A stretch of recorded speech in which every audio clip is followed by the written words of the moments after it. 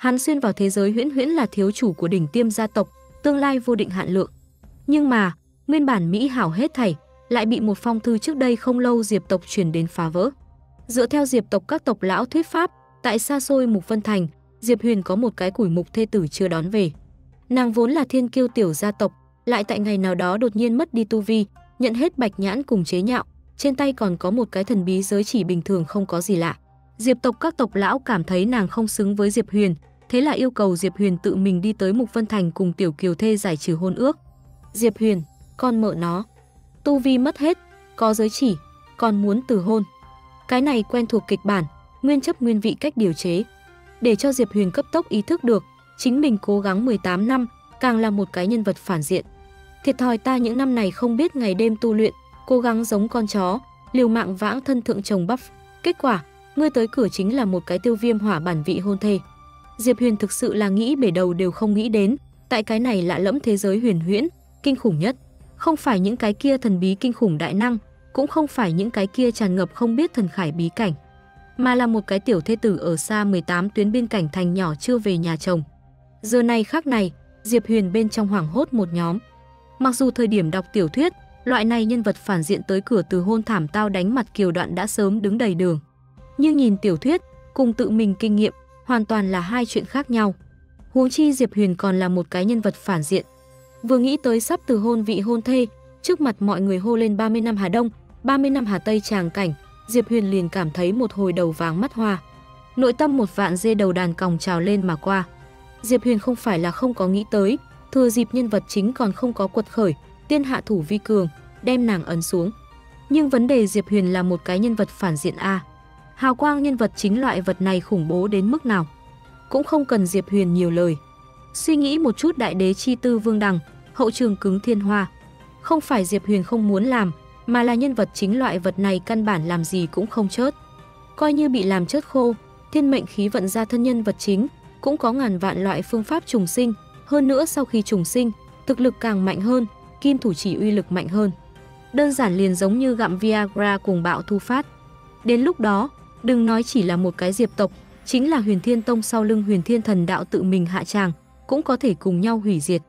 Tất nhiên chơi không chớt, vậy cũng chỉ có thể cứng đầu hướng chớt làm. Kể từ biết được tiểu kiều thê thân có nhân vật chính khuôn mẫu sau đó, Diệp Huyền liền âm thầm phái người đi tới Mục Vân Thành bên trong nghe ngóng tình huống. Tiểu kiều thê tên là Đạm Đài Minh Nguyệt, sinh ra trắng mỹ mạo, thiên sinh lệ chất. Kể từ tiểu kiều thê tu vi hoàn toàn biến mất sau đó, toàn bộ Đạm Đài ra thái độ đối đãi nàng rớt xuống ngàn trượng. Nếu không phải là bởi vì nàng cùng Diệp tộc còn có thông gia, sớm đã bị người đuổi ra khỏi cửa. Loại tình huống này, tiểu kiều thê nhất định cực độ khuyết thiếu yêu mến, nội tâm khát vọng nhận được người khác bảo vệ, cùng cổ vũ. Tìm được đột phá khẩu Diệp Huyền, quả quyết vi phạm với ý chí của gia tộc. Hắn không chỉ không có tới cửa từ hôn, còn viết một phong thật dài, cảm động lòng người thư để cho người ta trong đêm mang đến Mục Vân Thành, cổ vũ tiểu kiều thê, không cần nhủ trí. Không chỉ có như thế, Diệp Huyền chuẩn bị một cái chữ vật giới chỉ, bên trong chất đầy đủ loại kỳ chân dị thảo, quý báu đan dược, hơn nữa ở trong thư nhiều lần nhấn mạnh một điểm. Chính mình tuyệt sẽ không từ hôn, để cho tiểu kiều thê yên tâm tu luyện. Mặt khác phụ tặng mấy môn diệp tộc cùng huyền thiên tông cao thâm công pháp cùng tuyệt học.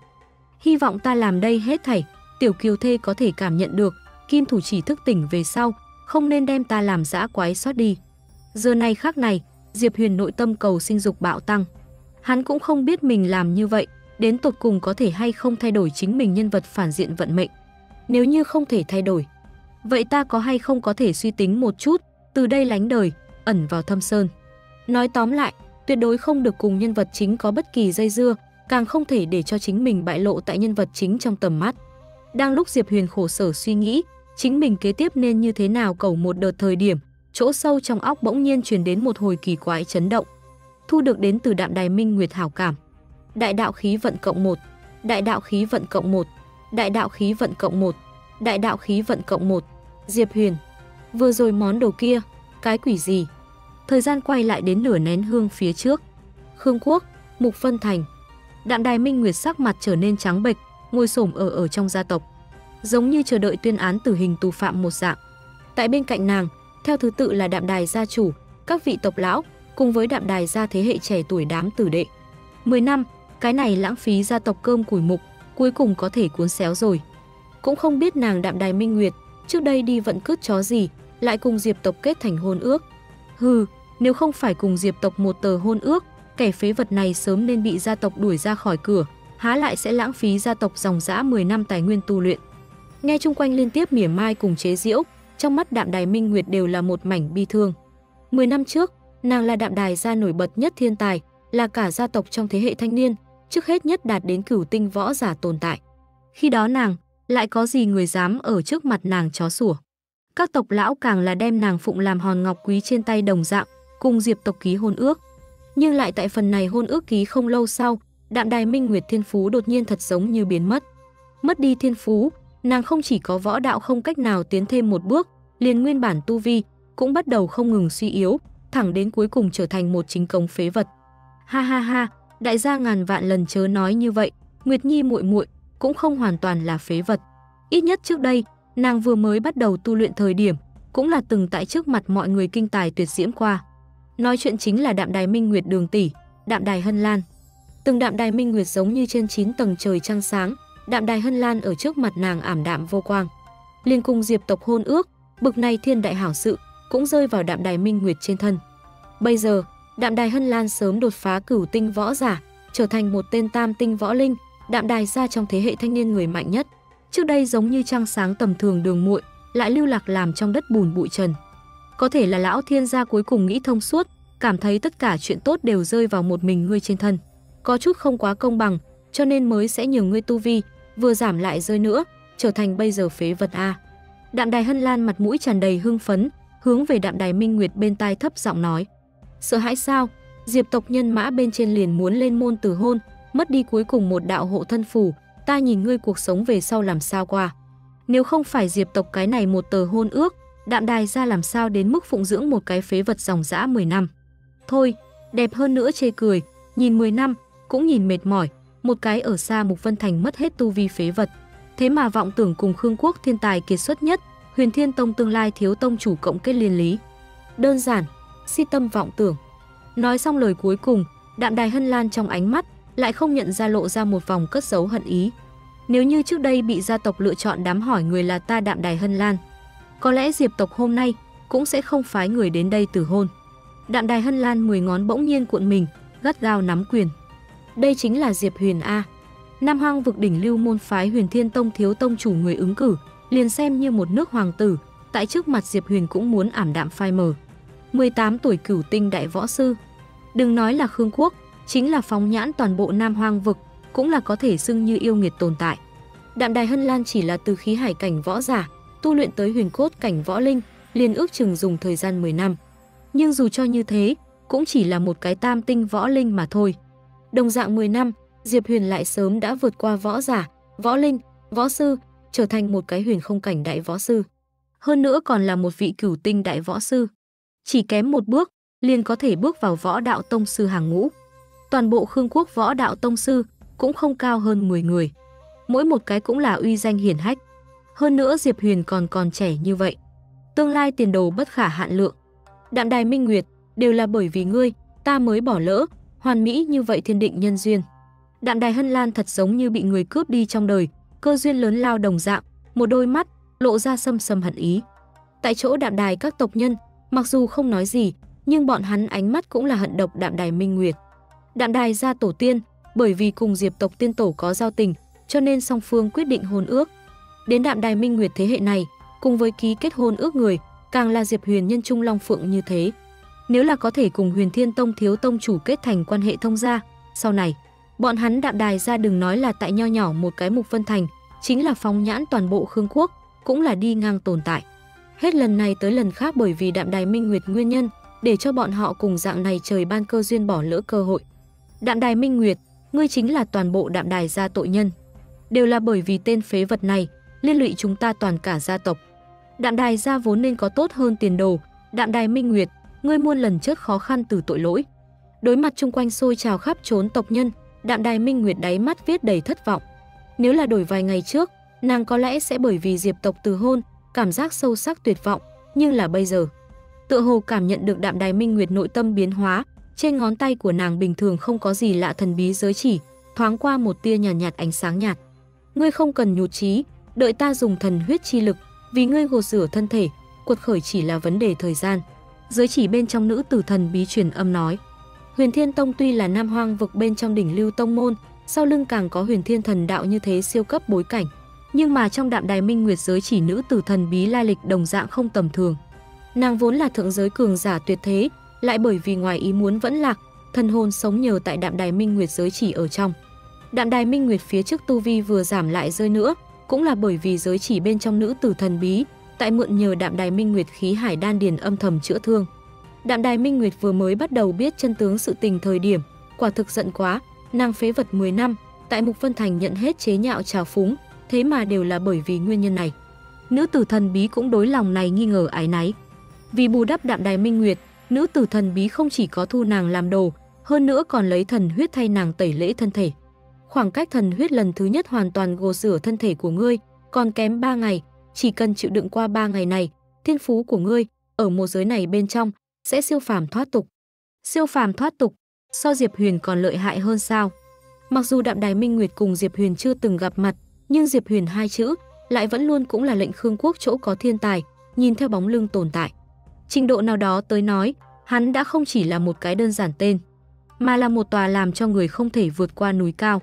Hừ, một cái Diệp Huyền đáng là gì? Ngươi nếu có thể dung hợp thần huyết toàn bộ lực lượng, chính là một giới này bên trong tất cả thiên tài chung vào một chỗ, cũng không sánh được ngươi một đầu ngón tay.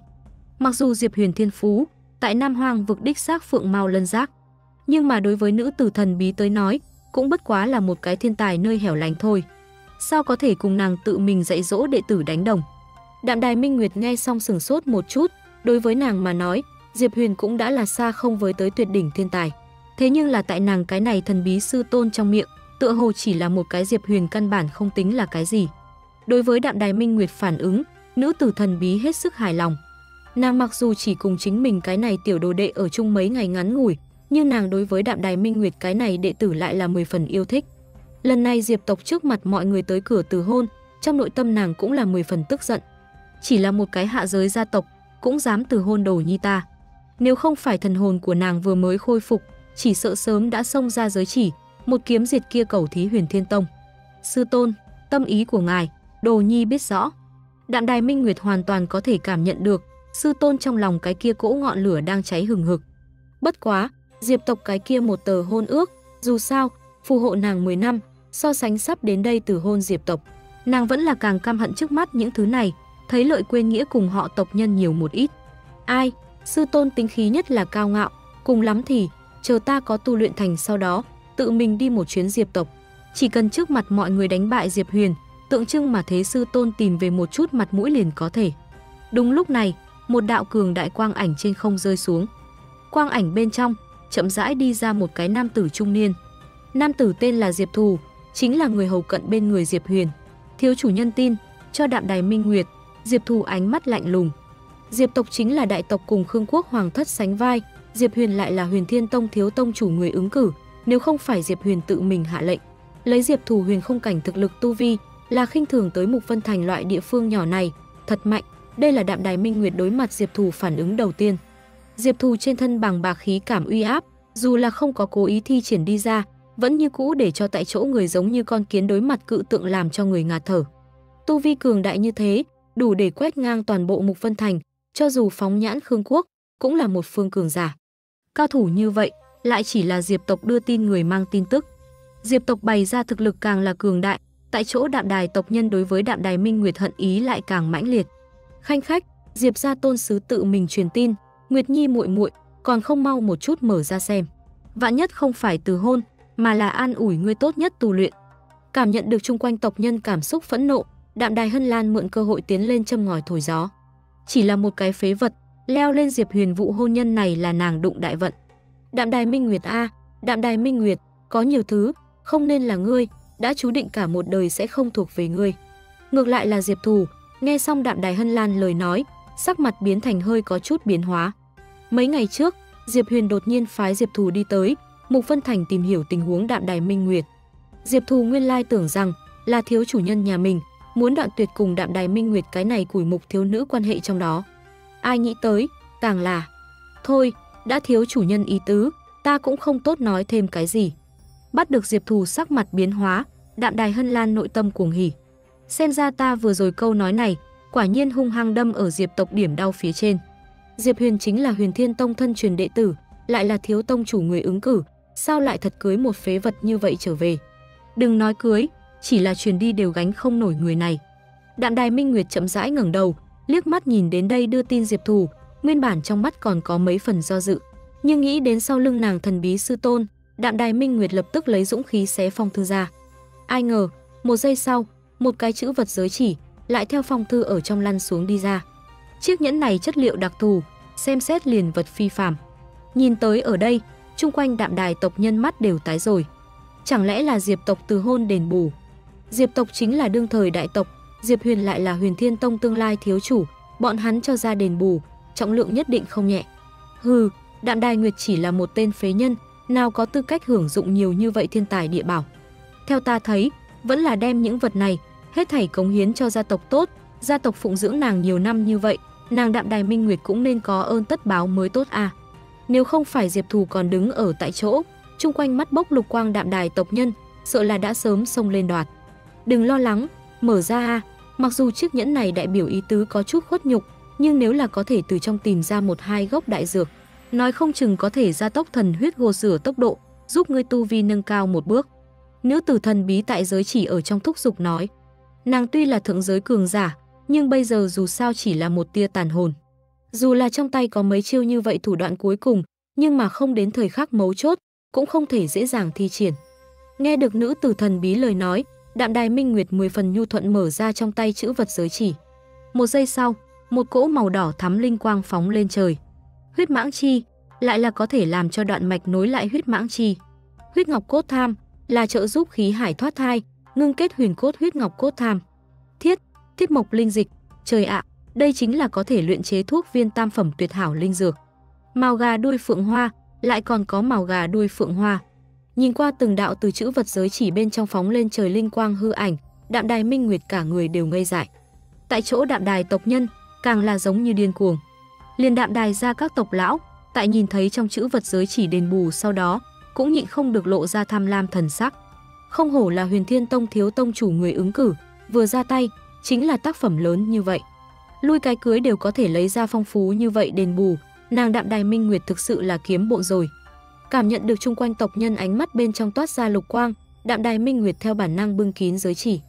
Nàng vừa rồi chỉ là trong mở ra giới chỉ một cái góc, liền bốc lên nhiều như vậy đồ tốt.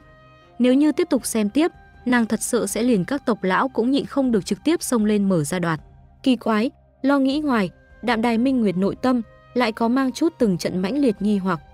Từ hôn mà thôi, cho dù có chỗ đền bù, cũng bất quá là vì thành toàn lẫn nhau mặt mũi quá trình thôi, vì sao Diệp Huyền sẽ phái người đưa tới như thế vừa dày vừa nặng bảo vật. Vừa rồi những thứ này hiển lộ ra kỳ chân dị thảo, tùy ý chọn ra một gốc đặt ở trên thị trường. Cũng là tồn tại cướp bể đầu, bằng không, đạm đài ra những trưởng lão này cũng sẽ không từng cái tham lam như thế. Hơn nữa đạm đài nguyệt vừa rồi lặng lẽ hướng về giới chỉ chỗ sâu nhìn sang, bên trong ngoại trừ đủ loại đủ kiểu linh thảo, linh dược bên ngoài. Còn có mấy môn cao thâm mà chắc công pháp truyền thừa. Hơn nữa phẩm cấp đều không thấp. So với những linh thảo kia linh dược càng thêm chân quý. Lui cái cưới, còn đưa lên bảo vật nhiều như vậy, cái này Diệp Huyền đến tột cùng muốn làm gì?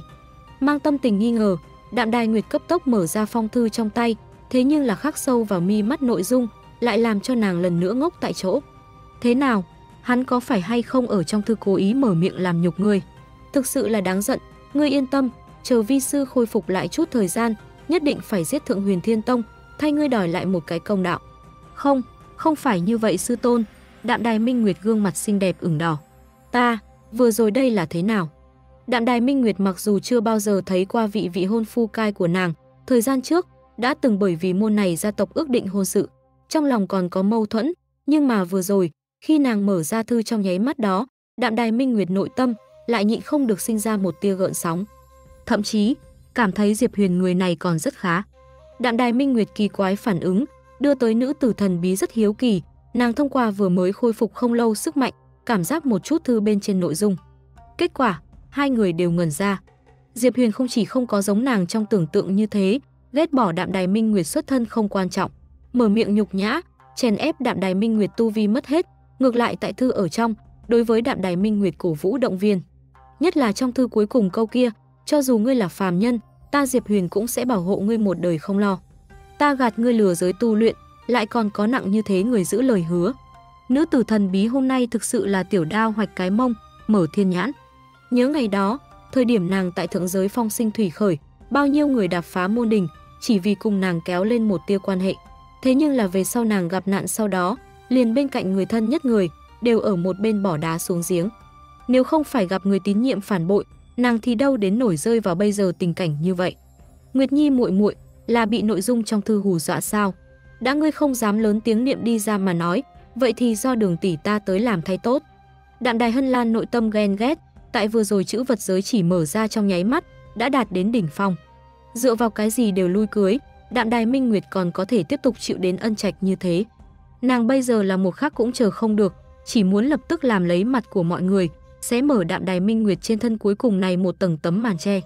Làm cho tất cả mọi người xem thật kỹ một chút, cái này bị từ hôn phế vật, không còn diệp tộc hôn ước, là như thế nào một bộ bộ dáng chật vật. Nàng đoạt lấy Đạm Đài Minh Nguyệt trong tay tin, trong mắt chứa ý cười, lớn tiếng vịnh tụ, hôn ước đã định, ngươi là ta Diệp Huyền vợ, tự nhiên bảo hộ ngươi, đợi ta thông qua sinh tử thí luyện, nhất định vì ngươi tái tạo khí hải đan điền, thủ, thủ hộ ngươi một đời một thế.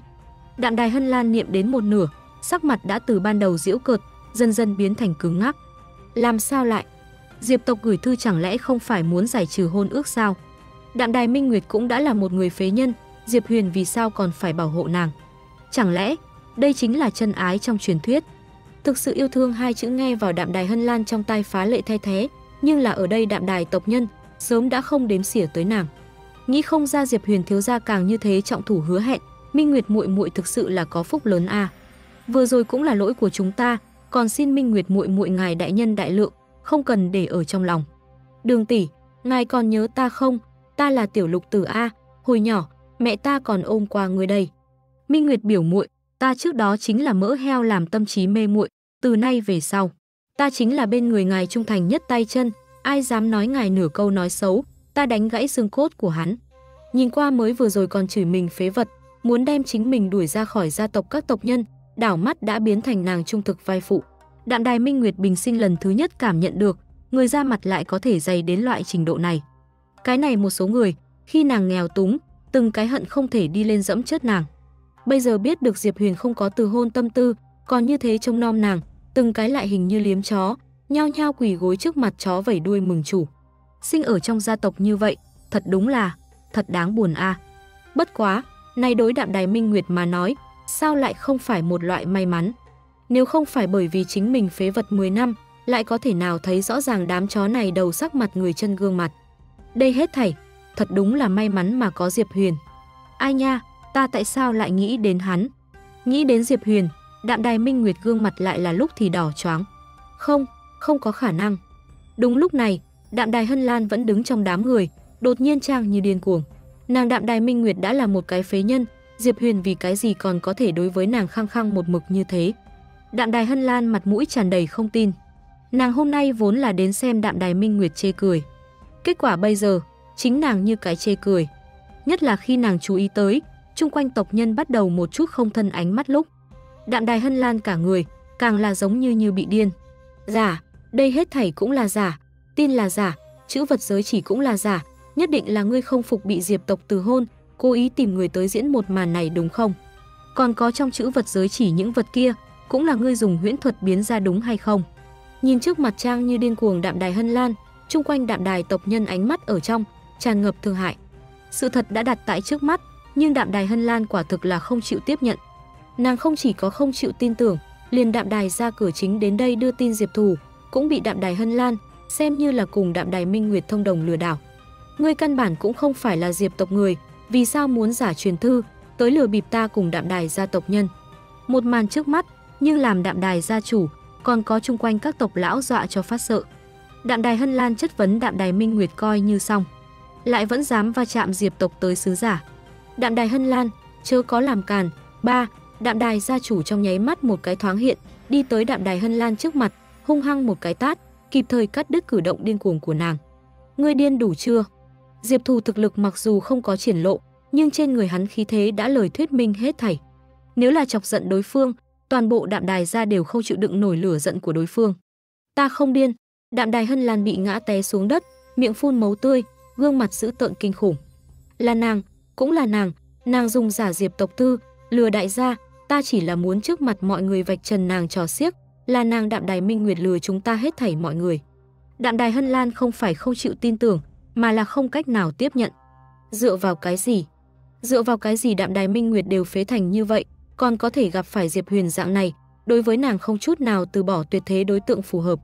Nàng không chịu tiếp nhận, đạm đài minh nguyệt đều lưu lạc đến nước này, còn có thể có trở mình chỗ trống. Ngoại trừ không chịu tiếp nhận, nàng càng nhiều vẫn là ghen ghét, nàng ghen ghét đạm đài minh nguyệt hết thảy, càng ghen ghét nàng cùng Diệp Huyền cái này một tờ nhân duyên. Bọn hắn rõ ràng một lần cũng chưa từng thấy, một lần cũng chưa từng thấy. Vì sao Diệp Huyền sẽ đối với nàng khăng khăng một mực như thế? Nếu như trước đây ký kết hôn ước chính là nàng Đạm Đài Hân Lan. Như vậy, cái kia lệnh Diệp Huyền khăng khăng một mực đối tượng phù hợp, có thể hay không cũng là nàng Đạm Đài Hân Lan. Điên rồi, nữ nhân này điên rồi.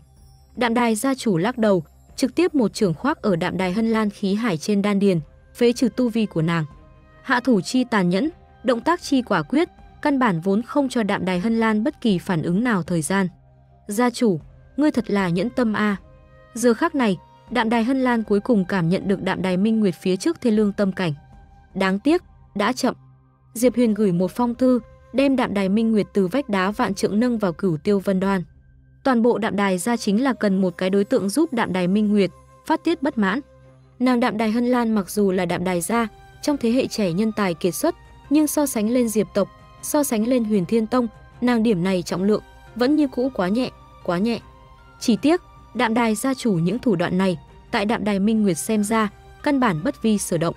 Kiếp sống 10 năm phế vật, nàng sớm đã xem thấu nhân tâm, bây giờ nàng chỉ muốn tại nữ tử thần bí dưới sự giúp đỡ, mau sớm hoàn thành thần huyết tố thể, truy tìm cái kia sớm đã đoạn tuyệt nhiều năm võ đạo đến cực điểm. Có lẽ, đến lúc đó, nàng mới có dũng khí, chân chính đứng ở trước mặt Diệp Huyền, Huyền Thiên Tông, thăng trên tiền đài. Thu được Đạm Đài Minh Nguyệt hảo cảm, đại đạo khí vận cộng 2. Thu được Đạm Đài Minh Nguyệt hảo cảm, đại đạo khí vận cộng 2. Thu được Đạm Đài Minh Nguyệt hảo cảm, đại đạo khí vận cộng 3. Cảm nhận được trong thân thể không ngừng gia tăng đại đạo khí vận, Diệp Huyền đột nhiên giật mình tỉnh giấc. Thì ra, tiểu kiều thê càng là ta kim thủ chỉ. Mặc dù Diệp Huyền không rõ ràng, cái này cái gọi là đại đạo khí vận đến tột cùng là cái gì, nhưng là từ khí vận xuất hiện một khắc kia trở đi. Diệp Huyền rõ ràng có thể cảm thấy một cỗ sôi trào mãnh liệt sức mạnh đang tại trong cơ thể hắn dần dần uẩn nhưỡng, muốn bạo phát đi ra. Chuyện gì xảy ra? Vì cái gì ta cảm giác Diệp Huyền sư huynh chung quanh thiên địa linh khí dần dần trở nên cổ quái? Không phải là lại đột phá a? T, ta nhớ được Diệp Huyền sư huynh trước đây không lâu mới vừa vặn đột phá qua một lần a. Nhanh như vậy lại có cảm ngộ mới. Quả nhiên, Diệp Huyền sư huynh sau lưng tia sáng là chúng ta vĩnh viễn cũng không cách nào truy đuổi. Diệp Huyền sư huynh thật là lợi hại, ta muốn sinh hầu tử cho hắn. Phi, Diệp Huyền sư huynh mới không xem trọng ngươi đây. Người nào nói, vạn nhất sư huynh liền thích ta loại này đầy đặn hình tiểu thổ đậu đâu. Diệp Huyền không để ý đến thăng tiên dưới đài phương hỗn loạn, hắn giờ phút này hoàn toàn đắm chìm tại đại đạo khí vận tẩy lễ phía dưới. Cứ như vậy trong một giây lát thời gian, trong cơ thể hắn đại đạo khí vận đã ngưng kết trở thành một cái vàng óng ánh viên cầu. Viên cầu phía dưới toát ra vô số vàng óng ánh bảo hạp, còn có một cây thật dài kim đồng hồ. Đây chẳng lẽ là rút thưởng? Chưa ăn qua thịt heo, còn không có gặp qua heo chạy sao? Kiếp trước trên internet đủ loại kỳ kỳ quái quái kim thủ chỉ, Diệp Huyền thế nhưng là đã sớm quá quen thuộc. Liền thu thập tâm tình tiêu cực đều có, ta cái này, thu thập tiểu kiều thê độ thiện cảm, có vẻ như cũng có thể lý giải a. Đang lúc Diệp Huyền nội tâm âm thầm trấn an chính mình, một cái Huyền Thiên Tông đệ tử vội vã chạy lên đăng tiên đài. Diệp Huyền sư huynh, tông chủ đã xuất quan, đang cùng các vị trưởng lão đang tại đại điện ở trong nghị sự, mời ngài đi qua một chuyến. Cái này đến đây đưa tin Huyền Thiên Tông đệ tử, một bên hành lễ, một bên trộm nghiêng mắt nhìn Diệp Huyền. Nội tâm khẩn trương muốn chớt. Đơn giản so buổi hòa nhạc bên trên nhìn thấy thần tượng fan hâm mộ còn kích động hơn. Diệp Huyền sư huynh, thật là Diệp Huyền sư huynh. Nghĩ không ra, đời ta còn có cơ hội cùng Diệp Huyền sư huynh khoảng cách gần như vậy thân mật nói chuyện. Thế nhưng là Diệp Huyền căn bản không để ý đến nội tâm kích động hắn, bởi vì hắn tất cả lực chú ý, ý thức đều đắm chìm tại kim sắc viên cầu trong thức hải trên thân. Dựa theo kim đồng hồ bên trên đánh dấu, 100 đạo khí vận mới có thể rút ra một lần ban thưởng. Diệp Huyền âm thầm yên lặng nhìn sang, từ mới vừa đến bây giờ, trong cơ thể hắn đã tụ tập hơn 200 đạo khí vận, hoàn toàn có thể tiến hành hai lần rút thưởng. Nghĩ tới đây, Diệp Huyền nhìn sang Huyền Thiên Tông đệ tử bên cạnh truyền lời. Huyền Thiên Tông chủ triệu hoán Diệp Huyền đi tới chính khí trường sinh đại điện, khẳng định có chuyện quan trọng gì. Bằng không thì ngược lại là có thể thử xem cái này kim thủ chỉ rút thưởng khâu, có thể rút ra đến một ít ban thưởng dạng gì. Diệp Huyền trong lòng suy nghĩ, dưới chân nhẹ nhàng đạp mạnh. Chỉ một thoáng, vạn trượng tường vân bay lên không, từng trận tiếng hổ khiếu long ngâm nương theo hư ảnh bay lên không. Không hổ là Diệp Huyền sư huynh, liền cất cánh đều như vậy tiêu sái, thật là khiến chúng ta cả một đời đều không thể đuổi theo. Nhìn qua chân đạp tường vân rời đi Diệp Huyền, thăng tiên trên đài truyền lời đệ tử mặt tràn đầy đều là ngưỡng mộ cùng không nói ra được tán thưởng, sinh tử thí luyện chuẩn bị thế nào. Diệp Huyền mới vừa đến chính khí trường sinh cửa đại điện, liền nghe được Huyền Thiên Tông chủ tiếng nói từ bên trong truyền đến. Các loại sự nghi đã chuẩn bị thỏa đáng, trưởng lão Huyền Kim trả lời. Ta Huyền Thiên Tông trăm năm qua chỉ xuất ba cái thân truyền đệ tử, Diệp Huyền là một cái duy nhất còn tại trong môn người, cũng là trong ba cái thân truyền đệ tử trẻ tuổi nhất. Thân truyền đệ tử xem như Huyền Thiên Tông lớn nhất thân phận tượng trưng, một khi thực lực đạt đến trình độ nào đó sau đó, thường thường đều biết lấy phương thức của mình, tìm kiếm đột phá, tông môn cũng sẽ không tận lực đi ước thúc. Phía trước hai vị thân truyền đệ tử cũng là đang tìm kiếm đột phá thời cơ bên trong, rời đi môn phái, tự mình lịch luyện, 10 năm qua bặt vô âm tín. Chỉ có Diệp Huyền vẫn luôn ở bên trong môn phái chuyên tâm tu luyện. Hắn không muốn rời đi tông môn, ngoại trừ tu vi không có gặp phải bình cảnh, còn có một cái nguyên nhân trọng yếu. Đây là thế giới huyền huyễn. Dù là Diệp Huyền tu vi tại Huyền Thiên Tông trong thế hệ thanh niên, có thể xưng long đầu một dạng tồn tại.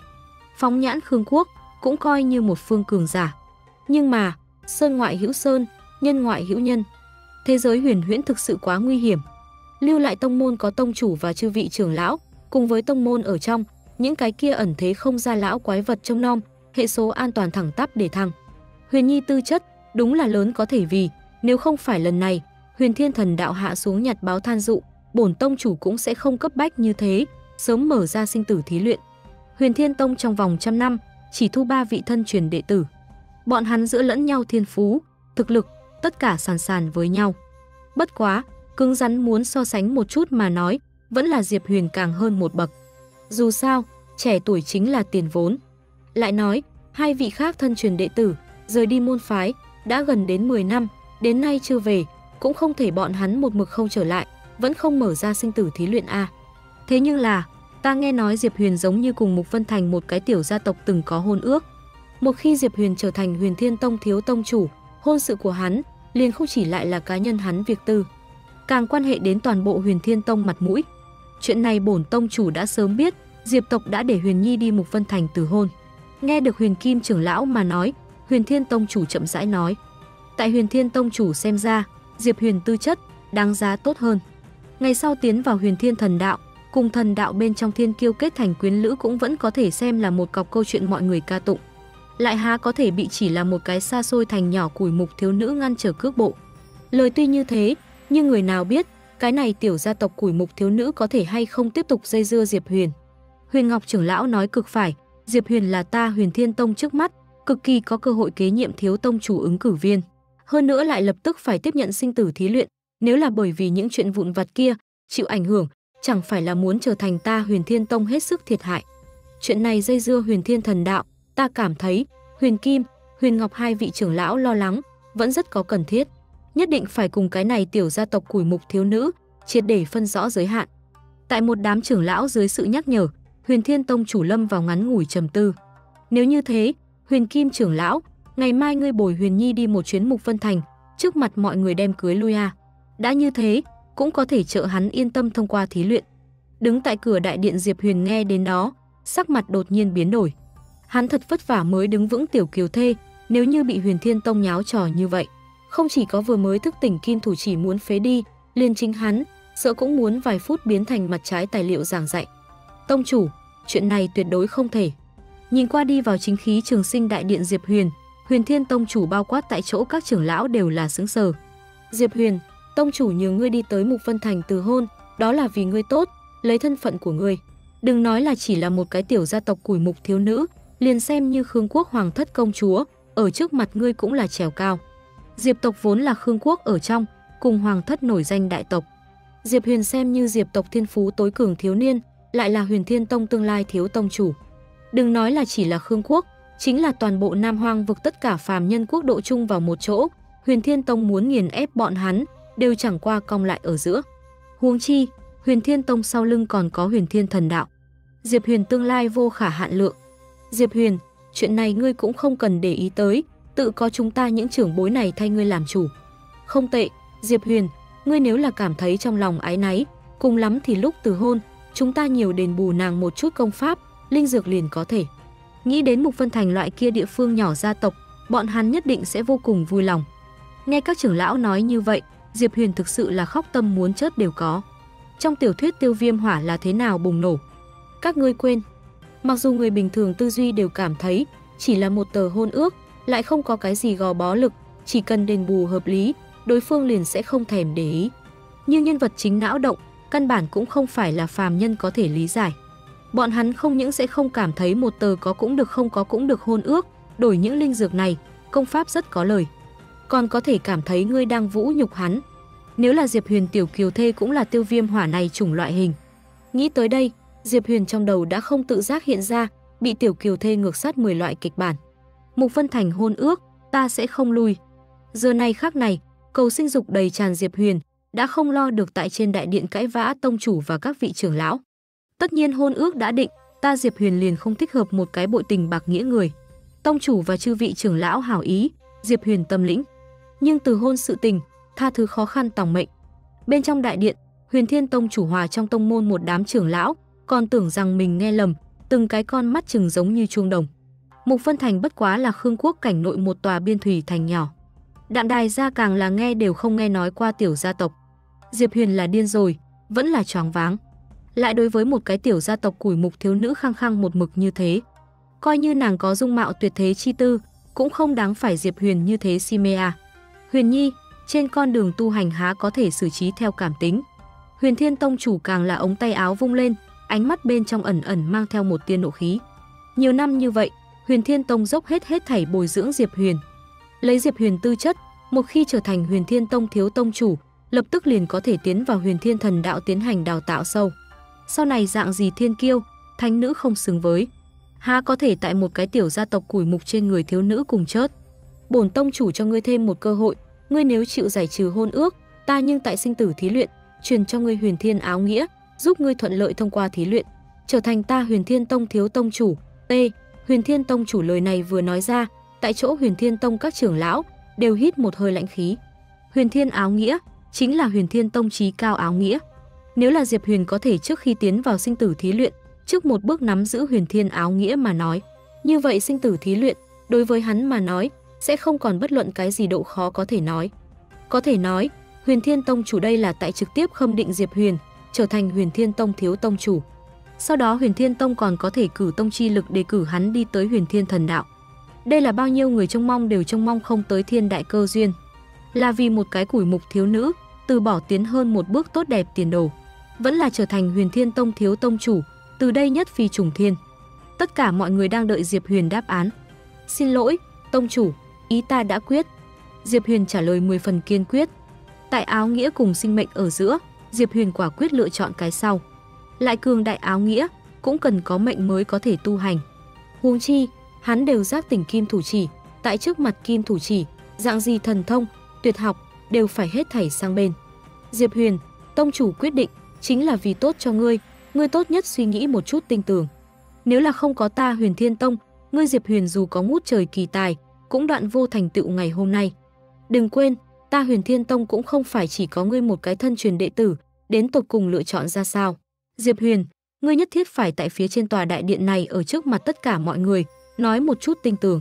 Diệp Huyền vì đạm đài minh nguyệt, trước mặt mọi người cãi vã Huyền Thiên Tông chủ cùng chư vị trưởng lão, rước lấy Huyền Thiên Tông cao tầng tập thể lửa giận. Nhưng mà, ngay lúc này, Diệp Huyền bình tĩnh thật lâu chỗ sâu trong óc, lần nữa nhẹ nhàng chấn động. Đạm đài minh nguyệt hảo cảm lần nữa tăng thêm, đại đạo khí vận cộng 5, 5, 5, trong khoảnh khắc, kim sắc viên cầu bên trên đại đạo khí vận, trực tiếp từ 200 nhiều điểm, vọt tới 300 ra mặt, con mợ nó, bị chấn kinh đến Diệp Huyền, kém chút tại chỗ tuôn ra nói tục. Tiểu Kiều thê đây là thế nào? Độ thiện cảm giống như không cần tiền, phanh phanh phanh bốc lên. Dựa theo cái này hảo cảm tăng vọt tốc độ, còn học cái đơ huyền thiên áo nghĩa. Đương nhiên là tiểu kiều thê càng hương a. Diệp Huyền một bên cố nén nội tâm hưng phấn, một bên yên lặng mở ra kim sắc viên cầu bên trên kim đồng hồ. Hắn đã không kịp chờ đợi, muốn đánh lên một đợt phần thưởng. Theo Diệp Huyền ngón tay chỉ động, kim sắc viên cầu bên trên 308 hơi lớn đạo khí vận, bỗng nhiên bốc lên âm 100 điểm. Cùng lúc đó, phía trên kim đồng hồ bắt đầu phi tốc xoay tròn. Rất nhanh, không ngừng chuyển động kim đồng hồ, liền rơi vào một cái vàng óng ánh bảo hạp phía trên. Nương theo kim đồng hồ trong ngón tay bảo hạp bành một tiếng nổ tung tới, bốn cái lớn chừng cái đấu thải sắc mưa đạn phun ra ngoài.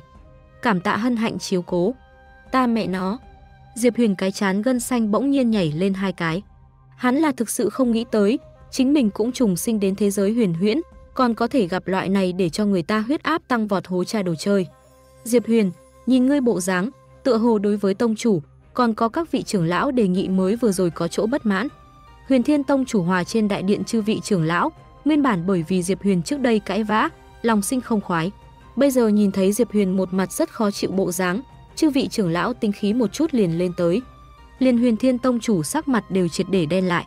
Bất quá, bọn hắn khí, Diệp Huyền càng khí. Chính mình liều mạng 18 năm cố gắng không cần, thế mà mở ra như thế cái xui xẻo đồ chơi. Bây giờ, hắn giống như bị gác ở trên lò lửa một dạng, hoặc là tươi sống bị hỏa thiêu chết, hoặc là liệt hỏa nấu dầu, tiến thêm một bước. Không chút do dự, Diệp Huyền lần nữa chỉ vào rút thưởng kim đồng hồ. Theo kim đồng hồ lại một lần bắt đầu chuyển động, rất nhanh một cái vàng óng ánh bảo hạp lần nữa nổ tung. Lần này quá đáng hơn, nổ lên bảo hạp bên trong trực tiếp bốc lên cái khoảng không.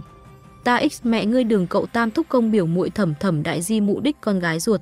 Giờ khắc này, Diệp Huyền đột nhiên có một loại một lần nữa tiếp nhận huyền thiên áo nghĩa truyền thừa, từ bỏ kim thủ chỉ xúc động. Ngón tay vàng này thực sự quá mẹ nó hố cha.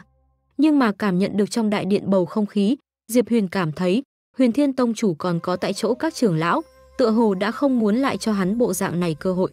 Hừ, Diệp Huyền, đã ngươi như thế ngỗ nghịch trưởng bối, cũng đừng trách tông môn không nể mặt ngươi.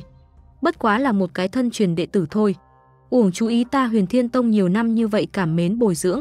Liên Huyền Thiên Tông chủ đều thay đổi phía trước đối với Diệp Huyền thân mật thái độ, không còn xưng hô Huyền Nhi, mà là đối với hắn gọi thẳng tên. Diệp Huyền, bổn tông chủ đã cho qua ngươi cơ hội, ngươi tất nhiên khăng khăng như thế, vậy thì Huyền Thiên tông chủ bên này lời vừa nói ra được phân nửa, trong cơ thể của Diệp Huyền bỗng nhiên một cỗ kim quang phóng lên trời. Kim quang này rực rỡ vô cùng, giống như cửu thiên chi thượng, hạ xuống cam tuyển mưa móc đồng dạng, nhưng lại mang theo hiển hách thần uy. Thần cốt là Diệp Huyền thần cốt đã thức tỉnh. Huyền Thiên tông chủ một đôi mắt gắt gao nhìn chăm chú vào trước mặt Diệp Huyền. Trung quanh nguyên bản lao nhau, chỉ trích Diệp Huyền các tông môn trưởng lão, cũng là cả đám trợn mắt há mồm. Khó khăn, chẳng lẽ truyền thuyết là có thật? Nghe đồn, Diệp tộc chính là thượng cổ thần linh cường giả truyền thừa xuống huyết mạch. Thần linh vốn là siêu việt phàm nhân tồn tại, liền bọn hắn truyền xuống huyết mạch, cũng sẽ phúc phận vạn thế, để cho hậu bối tử tôn cả đời được lợi. Diệp tộc xem như dòng máu của thần, thời gian trước sinh ra không thiếu hạng người kinh tài tuyệt diễm. Chỉ là về sau, những cường giả này trên người thần cốt lại bị một cỗ vô danh nguyền rủa cắt rơi. Từ đó, Diệp tộc không còn xuất hiện thời kỳ thượng cổ, cấp độ kia siêu phàm nhập thánh cường giả tuyệt thế. Bị thúc ép từ trong hoang linh vực rời ra, dần dần biến thành cùng phàm nhân quốc độ sánh vai cùng tồn tại. Diệp Huyền trước đây cũng là bởi vì tại đột phá huyền cốt cảnh, xương cốt ở trong, mở ra một tia thần trạch đường vân, mới bị Huyền Thiên Tông chủ một chút chọn chúng. Đáng tiếc, Diệp Huyền tiến vào Huyền Thiên Tông sau, mặc dù tu vi tiến bộ thần tốc, nhưng thần cốt bên trên đặc tính lại không có mảy may hiện ra. Chẳng lẽ hôm nay chính là hắn thần cốt triệt để thức tỉnh thời điểm. Huyền Thiên Tông chủ đỡ lấy chỗ ngồi hai tay, nhịn không được khẽ run lên. Liên Diệp Huyền chính mình cũng không nghĩ tới, hắn vốn đã không ôm hy vọng một lần cuối cùng rút thưởng, thế mà trực tiếp rút được một cái có thể trợ giúp thần cốt thức tỉnh đại đạo trái cây. Vấn đề gì đại đạo trái cây, tên như ý nghĩa, chính là lấy thiên địa đại đạo ý chí ngưng kết mà thành một quả trái cây. Thần linh vì cái gì xưng là thần? cũng là bởi vì bọn hắn có thể nắm giữ thiên địa đại đạo áo nghĩa. Đại đạo trái cây bên trong thiên địa áo nghĩa vốn là cùng trong cơ thể của Diệp Huyền Thần cốt hỗ trợ lẫn nhau. Có đại đạo trái cây trợ giúp, trong cơ thể của Diệp Huyền Thần Trạch Văn Lộ bắt đầu theo xương cốt toàn thân, mọc rễ nảy mầm, giống như khô cạn cây khô, lấy được linh tuyển tầm bổ. Từng trận kim quang không ngừng giống như mạng nhện bày khắp Diệp Huyền toàn thân. Đến cuối cùng, liền cả người hắn xương cốt đều biến thành màu vàng kim nhàn nhạt, nhạt. Phảng phất một giây sau, liền muốn từ nhục thể ở trong đi ra ngoài. Oanh, đúng lúc này, bầu trời đột nhiên nứt ra. Toái không cảnh. Võ, võ đạo tông sư, Diệp Huyền đột phá võ đạo tông sư. Trời ạ, đây chính là thần cốt vĩ lực sao? Cảm nhận được Diệp Huyền chung quanh kinh khủng năng lượng biến hóa, đại điện ở trong Huyền Thiên Tông các trưởng lão hô hấp đều nhanh muốn ngừng lại rồi. Bọn hắn những tông môn này trưởng lão có khổ sở tu luyện cả một đời, kết quả là cũng bất quá toái không cảnh võ đạo tông sư tu vi. Thế nhưng là Diệp Huyền mới vừa vặn thức tỉnh thần cốt, thế mà trực tiếp liền đột phá rồi toái không cảnh. Thần khải người, nghĩ không ra nhiều năm sau đó, ta Huyền Thiên Tông không ngờ ra một vị thần khải người. Thần khải người là thế giới này đối với thức tỉnh thần cốt người gọi chung. Mấy người này tu luyện, không có chút nào bình cảnh có thể nói. Hơn nữa sau này theo thần cốt thức tỉnh cường độ, thực lực cũng sẽ càng kinh khủng. Coi như tương lai truy đuổi tổ tiên cước bộ, trở thành một vị hoàn toàn mới thần linh, cũng không phải là chuyện không thể nào. Trên đại điện, dần dần phản ứng lại Huyền Thiên Tông các trưởng lão sắc mặt cực kỳ phức tạp, nếu Diệp Huyền vẻn vẹn chỉ là thiên phú hơn người, Huyền Thiên Tông cũng tịnh không phải không có lựa chọn tốt hơn. Nhưng là bây giờ, một vị thần khải người, hắn tồn tại đã không phải là chỉ là một vị thân truyền đệ tử có thể so sánh. Liền xem như tại Huyền Thiên Thần Đạo ở trong, cũng là đủ để gây nên coi trọng tồn tại. Khụ khụ, tất nhiên Huyền Nhi ngươi không muốn giải trừ hôn ước, chúng ta cũng không tốt ép buộc, nói cho cùng. Cái này trung quy là chuyện riêng của chính ngươi, chúng ta những thứ này sư môn trưởng bối, cũng không không phải là vì ngươi, nóng lòng một chút. Mới vừa rồi còn lên cơn giận dữ, một bộ muốn đem Diệp Huyền trục xuất sư môn dáng vẻ Huyền Thiên Tông chủ, trong nháy mắt trở nên gương mặt từ thiện, hòa ái dễ gần đứng lên. Liền chung quanh nguyên bản nắm giữ ý kiến phản đối các tông môn trưởng lão, cũng nhao nhao trở nên thông tình đạt lý. Ngươi cái kia vị hôn thê đơn giản là xuất thân thấp hèn điểm, tu vi phế đi chút, nhưng bất kể nói thế nào, lẫn nhau ưa thích liền tốt. Chuyện tình cảm vốn cũng không có đạo lý gì, Diệp Huyền, ngươi có thể thủ vững bản tâm, tông chủ còn có chúng ta chư vị trưởng lão, đều cảm giác hết sức vui mừng. Huyền Thiên tông chủ càng là trực tiếp tại chỗ đánh nhịp, sinh tử thí luyện thời gian, liền định tại nửa tháng sau. Huyền Nhi ngươi vừa mới đột phá võ đạo tông sư, còn cần thật tốt củng cố tu vi, chờ một lúc ta sẽ cho người tiễn đưa chút củng cố cảnh giới linh dược đi qua. Ngươi cứ dưỡng đủ tinh thần, vì đó sau sinh tử thí luyện làm chuẩn bị. Diệp Huyền trở thành thần khải người, mang ý nghĩa tương lai tiến vào Huyền Thiên thần đạo cũng sẽ có thụ coi trọng. Huyền Thiên Tông còn không đến mức vì chỉ là một cọc hôn sự đem lộ cho đi hẹp. Vậy thì, cảm ơn tông chủ và chư vị trưởng lão, Diệp Huyền trên mặt cười nhạt một tiếng. Mặc dù ngón tay vàng này có chút hố cha, nhưng tốt xấu thời khắc mấu chốt, vẫn là phát huy vốn có hiệu dụng. Đưa mắt nhìn Diệp Huyền rời đi về sau, Huyền Thiên Tông chủ hòa chư vị ở đây trưởng lão, ở sâu trong nội tâm, đều là một hồi tâm tình phức tạp. Ai có thể nghĩ tới, Huyền Thiên Tông tại giờ phút quan trọng này, lại có thể sinh ra một vị thần khải người. Huyền Thiên Tông chủ nhìn qua Diệp Huyền bóng lưng rời đi, ở sâu trong nội tâm một hồi như có điều suy nghĩ. Mấy ngày trước, Huyền Thiên Thần Đạo đột nhiên hạ xuống thần dụ, yêu cầu tán lạc tại tứ đại hoang vực bên trong tất cả chi mạch. Tuyển bạt riêng phần mình môn hạ rất có tiềm lực thân truyền đệ tử, đi tới Huyền Thiên Thần Đạo đào tạo sâu. Huyền Thiên Thần Đạo đã rất lâu không có mở ra thông hướng bên trong hoang linh vực thâm tạo tư cách. Mặc dù Huyền Thiên Tông chủ không rõ ràng, Huyền Thiên Thần Đạo vì cái gì đột nhiên ban xuống dạng này thần dụ, nhưng đây đối với Huyền Thiên Tông mà nói, không thể nghi ngờ là một cái cơ hội ngàn năm một thở. Diệp Huyền cuối cùng vẫn là quá trẻ tuổi chút, chờ hắn thông qua sinh tử thí luyện, tiến vào huyền thiên thần đạo, kiến thức thiên địa rộng lớn hơn, tự nhiên sẽ biết rõ chúng ta hôm nay khổ tâm. Không tệ, huyền thiên thần đạo vô số yêu nghiệt ngang dọc, càng có khuynh quốc khuynh thành thần nữ hàng thế, tin tưởng Diệp Huyền đến lúc đó sẽ minh bạch chính mình nên lựa chọn như thế nào. Ân, nghe được các trưởng lão mà nói, Huyền Thiên Tông chủ nhẹ nhàng gật đầu. Nếu Diệp Huyền không có thức tỉnh thần cốt, hắn như thế ngỗ nghịch tông môn trưởng lão cùng tông chủ, vì duy trì Huyền Thiên Tông uy nghiêm, không thể thiếu muốn đối hắn làm ra xử phạt. Nhưng là bây giờ tình huống hoàn toàn khác biệt. Diệp Huyền thức tỉnh thần cốt, trở thành thần khải người. Đối với thiên tài, thế giới này tổng hội vô cùng khoan dung. Nếu như khoan dung không đủ, đó nhất định là ngươi không đủ thiên tài. Hy vọng lần này thần đạo mở ra, ta Huyền Thiên Tông có thể rút ra một cái không tệ thứ nhất. Huyền Thiên Tông chủ nhìn qua Phương Hu Ong Điếp Huyền rời đi, trong lòng âm thầm nghĩ, trở lại chỗ ở, Diệp Huyền không nói hai lời, lật ra giấy viết thư, bắt đầu tiếp tục viết thư. Mặc dù thế giới này có không ít lộ ra giống truyền âm bí pháp, nhưng Diệp Huyền cảm thấy vẫn là nhất bút nhất họa tự tay thứ viết ra, càng có thể đại biểu một phần của hắn thực tình. Mấu chốt là muốn để Tiểu Kiều Thê cảm nhận được hắn thật trí tình cảm. Kim thủ chỉ thuận lợi thức tỉnh, xem ra Tiểu Kiều Thê đối ta viên đạn bọc đường vẫn là rất thụ dụng, lúc này nhất định muốn nắm chặt thời cơ, rèn sắt khi còn nóng. Diệp Huyền vừa rồi tại trên đại điện một đợt tam liên rút, đã tiêu hao kim sắc trong viên cầu tất cả giá trị khí vận. Nhất thiết phải lại đến một phong tình cảm chân thành thư, từ tiểu kiều thê nơi đó tiến nhập hàng. Diệp Huyền vắt hết óc, tìm kiếm kiếp trước trên internet, tất cả nam nữ buồn nôn, lôi kéo tình cảm từ ngữ, toàn bộ hội tụ tại non nớt trên tờ giấy. Thế nhưng là tin vừa viết xong, liền bị hắn một cái nhào nặn, dùng cửu thiên huyền hỏa nướng không còn sót lại một chút cặn.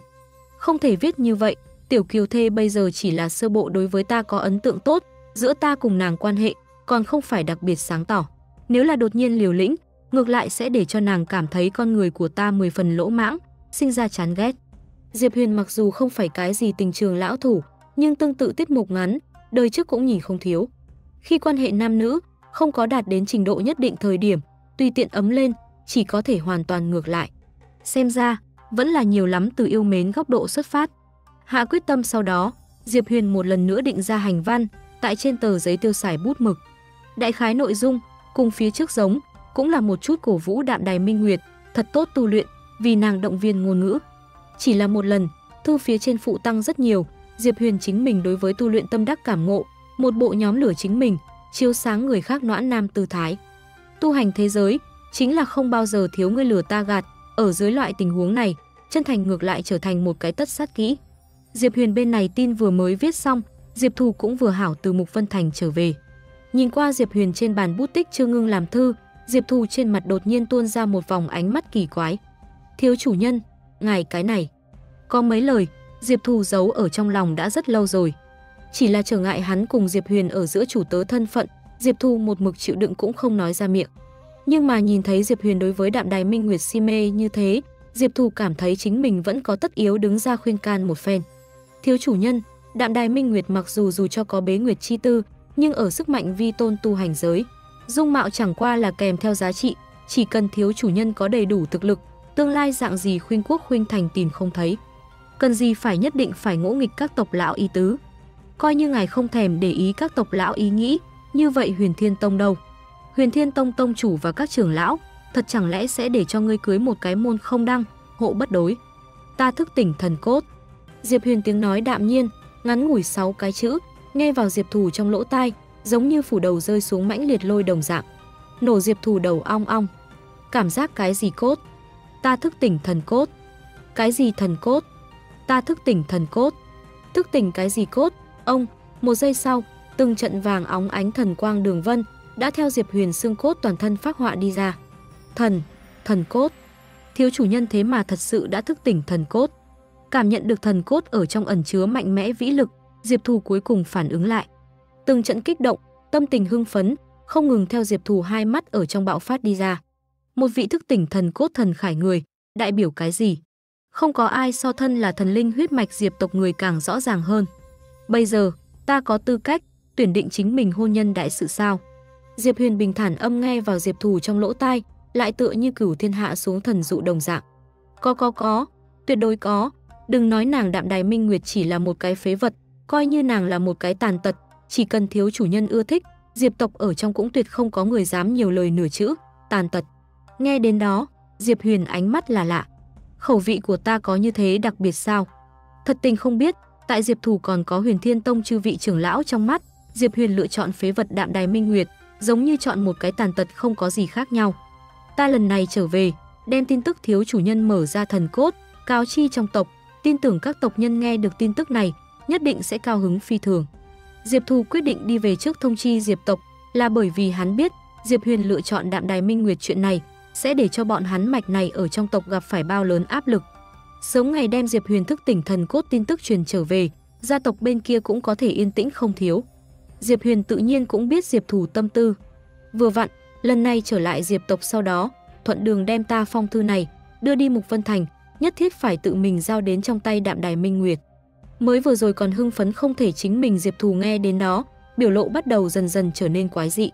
Hắn đường đường một cái thất tinh đại võ sư, phóng nhãn Khương Quốc Đô coi là một phương cường giả. Bây giờ lại trở thành hai cái tiểu tình nhân ở giữa lẫn nhau đưa thư tình công cụ người. Mấu chốt là Hắn chân trước mới từ Mục Vân Thành trở về, Diệp Huyền nhanh như vậy lại viết một phong thư. Biết đến là hai người có hôn ước. Không biết, còn tưởng rằng hai người các ngươi sau lưng sớm đã có gian, khụ khụ, tư định trung thân. Khương Quốc, Diệp tộc. Diệp Quan Hải, xem một chút đi, đây chính là con trai ngoan của ngươi, vậy mà ngỗ nghịch trong tộc quyết nghị. Cùng đạm đài minh nguyệt dạng này một cái phế vật tư định trung thân, chẳng lẽ các ngươi cũng không biết hậu quả của việc làm như vậy sao? Diệp tộc từ đường ở trong, Tam trưởng lão một mạch điên cuồng công kích tới Diệp Huyền phụ thân. Tam trưởng lão lời ấy sai rồi, Huyền Nhi cùng Đạm Đài Minh Nguyệt ở giữa, vốn là có hôn ước tại người, tại sao tư định trung thân mà nói? Hắn chỉ là không muốn vi phạm tổ tiên ước định, tùy tiện giải trừ hôn ước thôi. Diệp Huyền phụ thân cố hết sức vì hắn cãi lại, nhưng sâu trong nội tâm hắn, đồng dạng không rõ, con của mình. Vì cái gì không tiếc ngỗ nghịch gia tộc, cũng muốn ra sức bảo vệ đạm đài minh nguyệt dạng này một cái không thể tu luyện phế nữ.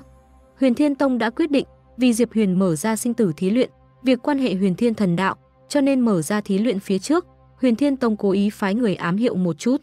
Thân là Huyền Thiên Tông thiếu tông chủ, trên thân quyết không thể nhiễm bất luận cái gì để cho người ta lên án vết nhơ.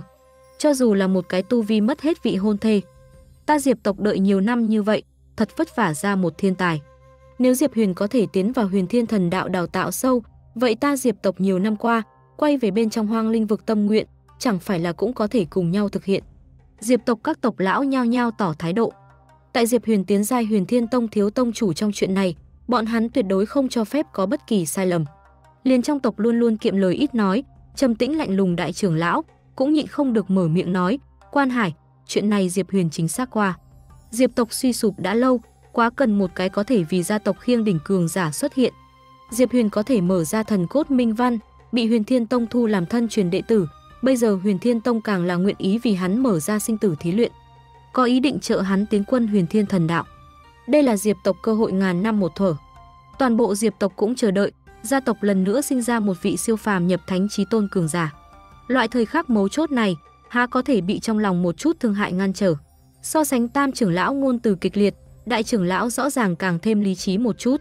Diệp Huyền từ tiểu kiếm đáng cố gắng, tại tu luyện trong chuyện, một khắc cũng không dám buông lỏng, tuyệt không đến nỗi giống tam trưởng lão một mạch nói như vậy, bị chỉ là sắc đẹp sở mê. Chuyện này quan hệ Diệp Huyền cả đời tiền đồ, chúng ta những trưởng bối này, chính là hắn thoát khỏi khốn đốn, một lần nữa người cầm lái sinh phương hướng. Tại đại trưởng lão trong lòng, Diệp Huyền nhiều lắm là chính là cảm thấy tùy tiện xé bỏ hôn ước, đối với Đạm Đài Minh Nguyệt có chút tàn nhẫn, trong lòng đối với nàng sinh ra một chút áy náy, thương hại. Chỉ thế thôi, muốn thành đại sự giả, há có thể bị những thứ này chỉ là tục vật bức ép. Thế nhưng là, đại trưởng lão, Huyền Nhi hắn, Diệp Quan Hải còn muốn nói nhiều cái gì, lại bị đại trưởng lão tại chỗ đánh gãy. Tốt, Quan Hải, ngươi không cần nói nhiều. Diệp Huyền sự tình tự có ta cùng Huyền Thiên Tông chư vị sư trưởng thay hắn lo lắng, ngươi cũng không cần lại vì chuyện của hắn phí tâm. Đại trưởng lão tại chỗ đánh nhịp, cho dù Diệp Quan Hải cũng là hữu tâm vô lực.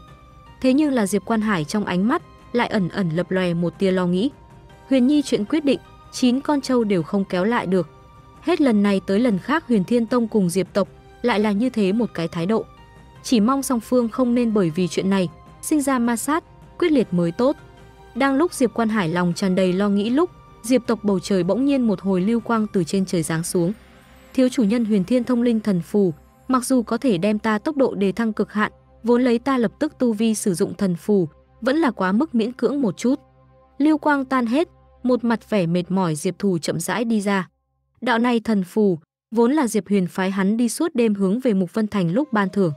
Vì không chậm trễ cho Đạm Đài Minh Nguyệt đưa tin, Diệp Huyền tại Diệp Thù đi tới Diệp tộc phía trước, lại đi thần phù phía trên, ra chú vài tia thần lực. Lấy Diệp Huyền bây giờ thần cốt thức tỉnh, võ đạo tông sư thực lực, Diệp Thù thất tinh đại võ sư thực lực, rõ ràng có chút ăn không tiêu, Diệp Thù, ngươi tới được vừa vặn.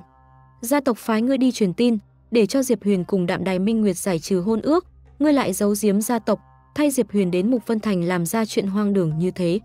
Diệp Thù mới vừa xuất hiện, lập tức hấp dẫn Diệp tộc các tộc lão tập thể lửa giận. Một cái phế nữ thôi, cũng có thể đưa lên nhiều như vậy kỳ chân dị bảo. Ngươi có biết, gia tộc ở trong cũng không có bao nhiêu tử đệ có thể hưởng dụng những linh thảo này, linh dược, Diệp Huyền lại tự mình làm chủ cho một tên phế nhân. Diệp Thù, chuyện này ngươi làm như thế nào giảng giải? Tam trưởng lão một mạch điên cuồng thu phát, cái kia mặt mũi tràn đầy tức giận bộ dáng, thật giống như Diệp Huyền thật làm cái gì có lỗi với bọn họ sự tình. Diệp Thù đương nhiên biết bọn hắn đang giận buồn bực cái gì. Diệp tộc mặc dù rời ra bên trong hoang linh vực nhiều năm, nhưng ở Khương Quốc ở trong vẫn là cùng hoàng thất sóng vai đại tộc. Diệp Quan Hải một mạch nguyên bản tại Diệp tộc không chút nào thu hút, lại bởi vì Diệp Huyền quật khởi, phụ bằng tử quý. Càng quan trọng chính là, tại Diệp Huyền những năm này quật khởi trên đường, không thiếu Diệp tộc thế hệ trẻ tuổi, trở thành hắn thành công trên đường đá đặt chân. Trong đó, lại lấy Tam trưởng lão một mạch đột xuất nhất. Hắn hai đứa con trai, ba cái cháu trai đều từng bởi vì Diệp Huyền bỏ lỡ cơ duyên. Trong ngày thường, Diệp Huyền treo lên Diệp tộc thiên tài quang hoàn, lại là Huyền Thiên Tông thiếu tông chủ người ứng cử, Tam trưởng lão tự nhiên không thể làm gì. Nhưng hiện tại, Diệp Huyền vì một cái phế vật vị hôn thê, thế mà cùng toàn cả gia tộc đối nghịch.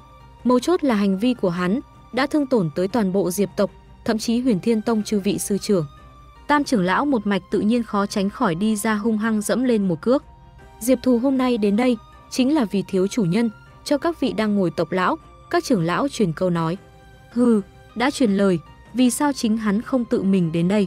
Chẳng lẽ là biết hắn làm ra những cái kia việc không thể lộ ra ngoài, ngượng ngùng đứng ra, tiếp nhận gia tộc lửa giận. Tam trưởng lão mặt mũi tràn đầy cười lạnh. Nhưng mà đối với cái này, Diệp Thù lại là bình tĩnh đến cực điểm. Quả thật bị thiếu chủ nhân đoán trúng.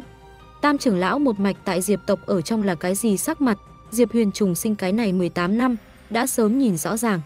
Hắn đã sớm ngờ tới, hắn cự tuyệt từ hôn tin tức một khi truyền về Diệp tộc, Tam trưởng lão một mạch chắc chắn sẽ không từ bỏ ý đồ.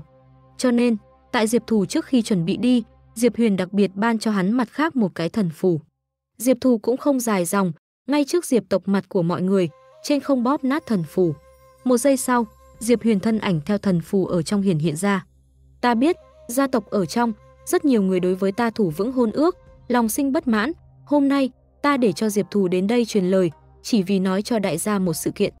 Diệp Huyền tiếng nói vừa dứt, trên thân lập tức muôn hình vạn trạng, thần quang đại tác. Vô số thần văn theo Diệp Huyền mặt ngoài thân thể nổi lên. Thần, thần cốt, đây là thần cốt, Diệp Huyền thức tỉnh thần cốt. Xem như thượng cổ thần linh hậu duệ, không có người nào so Diệp tộc càng rõ ràng hơn thần cốt thức tỉnh ý vị như thế nào. Giờ này khác này, nhìn thấy một màn này Diệp tộc người, đều là một mặt trợn mắt hốc mồm. Liên Diệp Huyền phụ thân Diệp Quan Hải cũng là giống như xét đánh, cả người hóa đá ngay tại chỗ. Từ đường ở trong, chưa từng có yên tĩnh. Coi như cây kim rơi trên mặt đất, đều có thể nghe nhất thanh nhị sở. Đại trưởng lão càng là hô hấp dồn dập, hai tay gân xanh ràng, bắt lại sau lưng còn chưa phản ứng lại Diệp Quan Hải.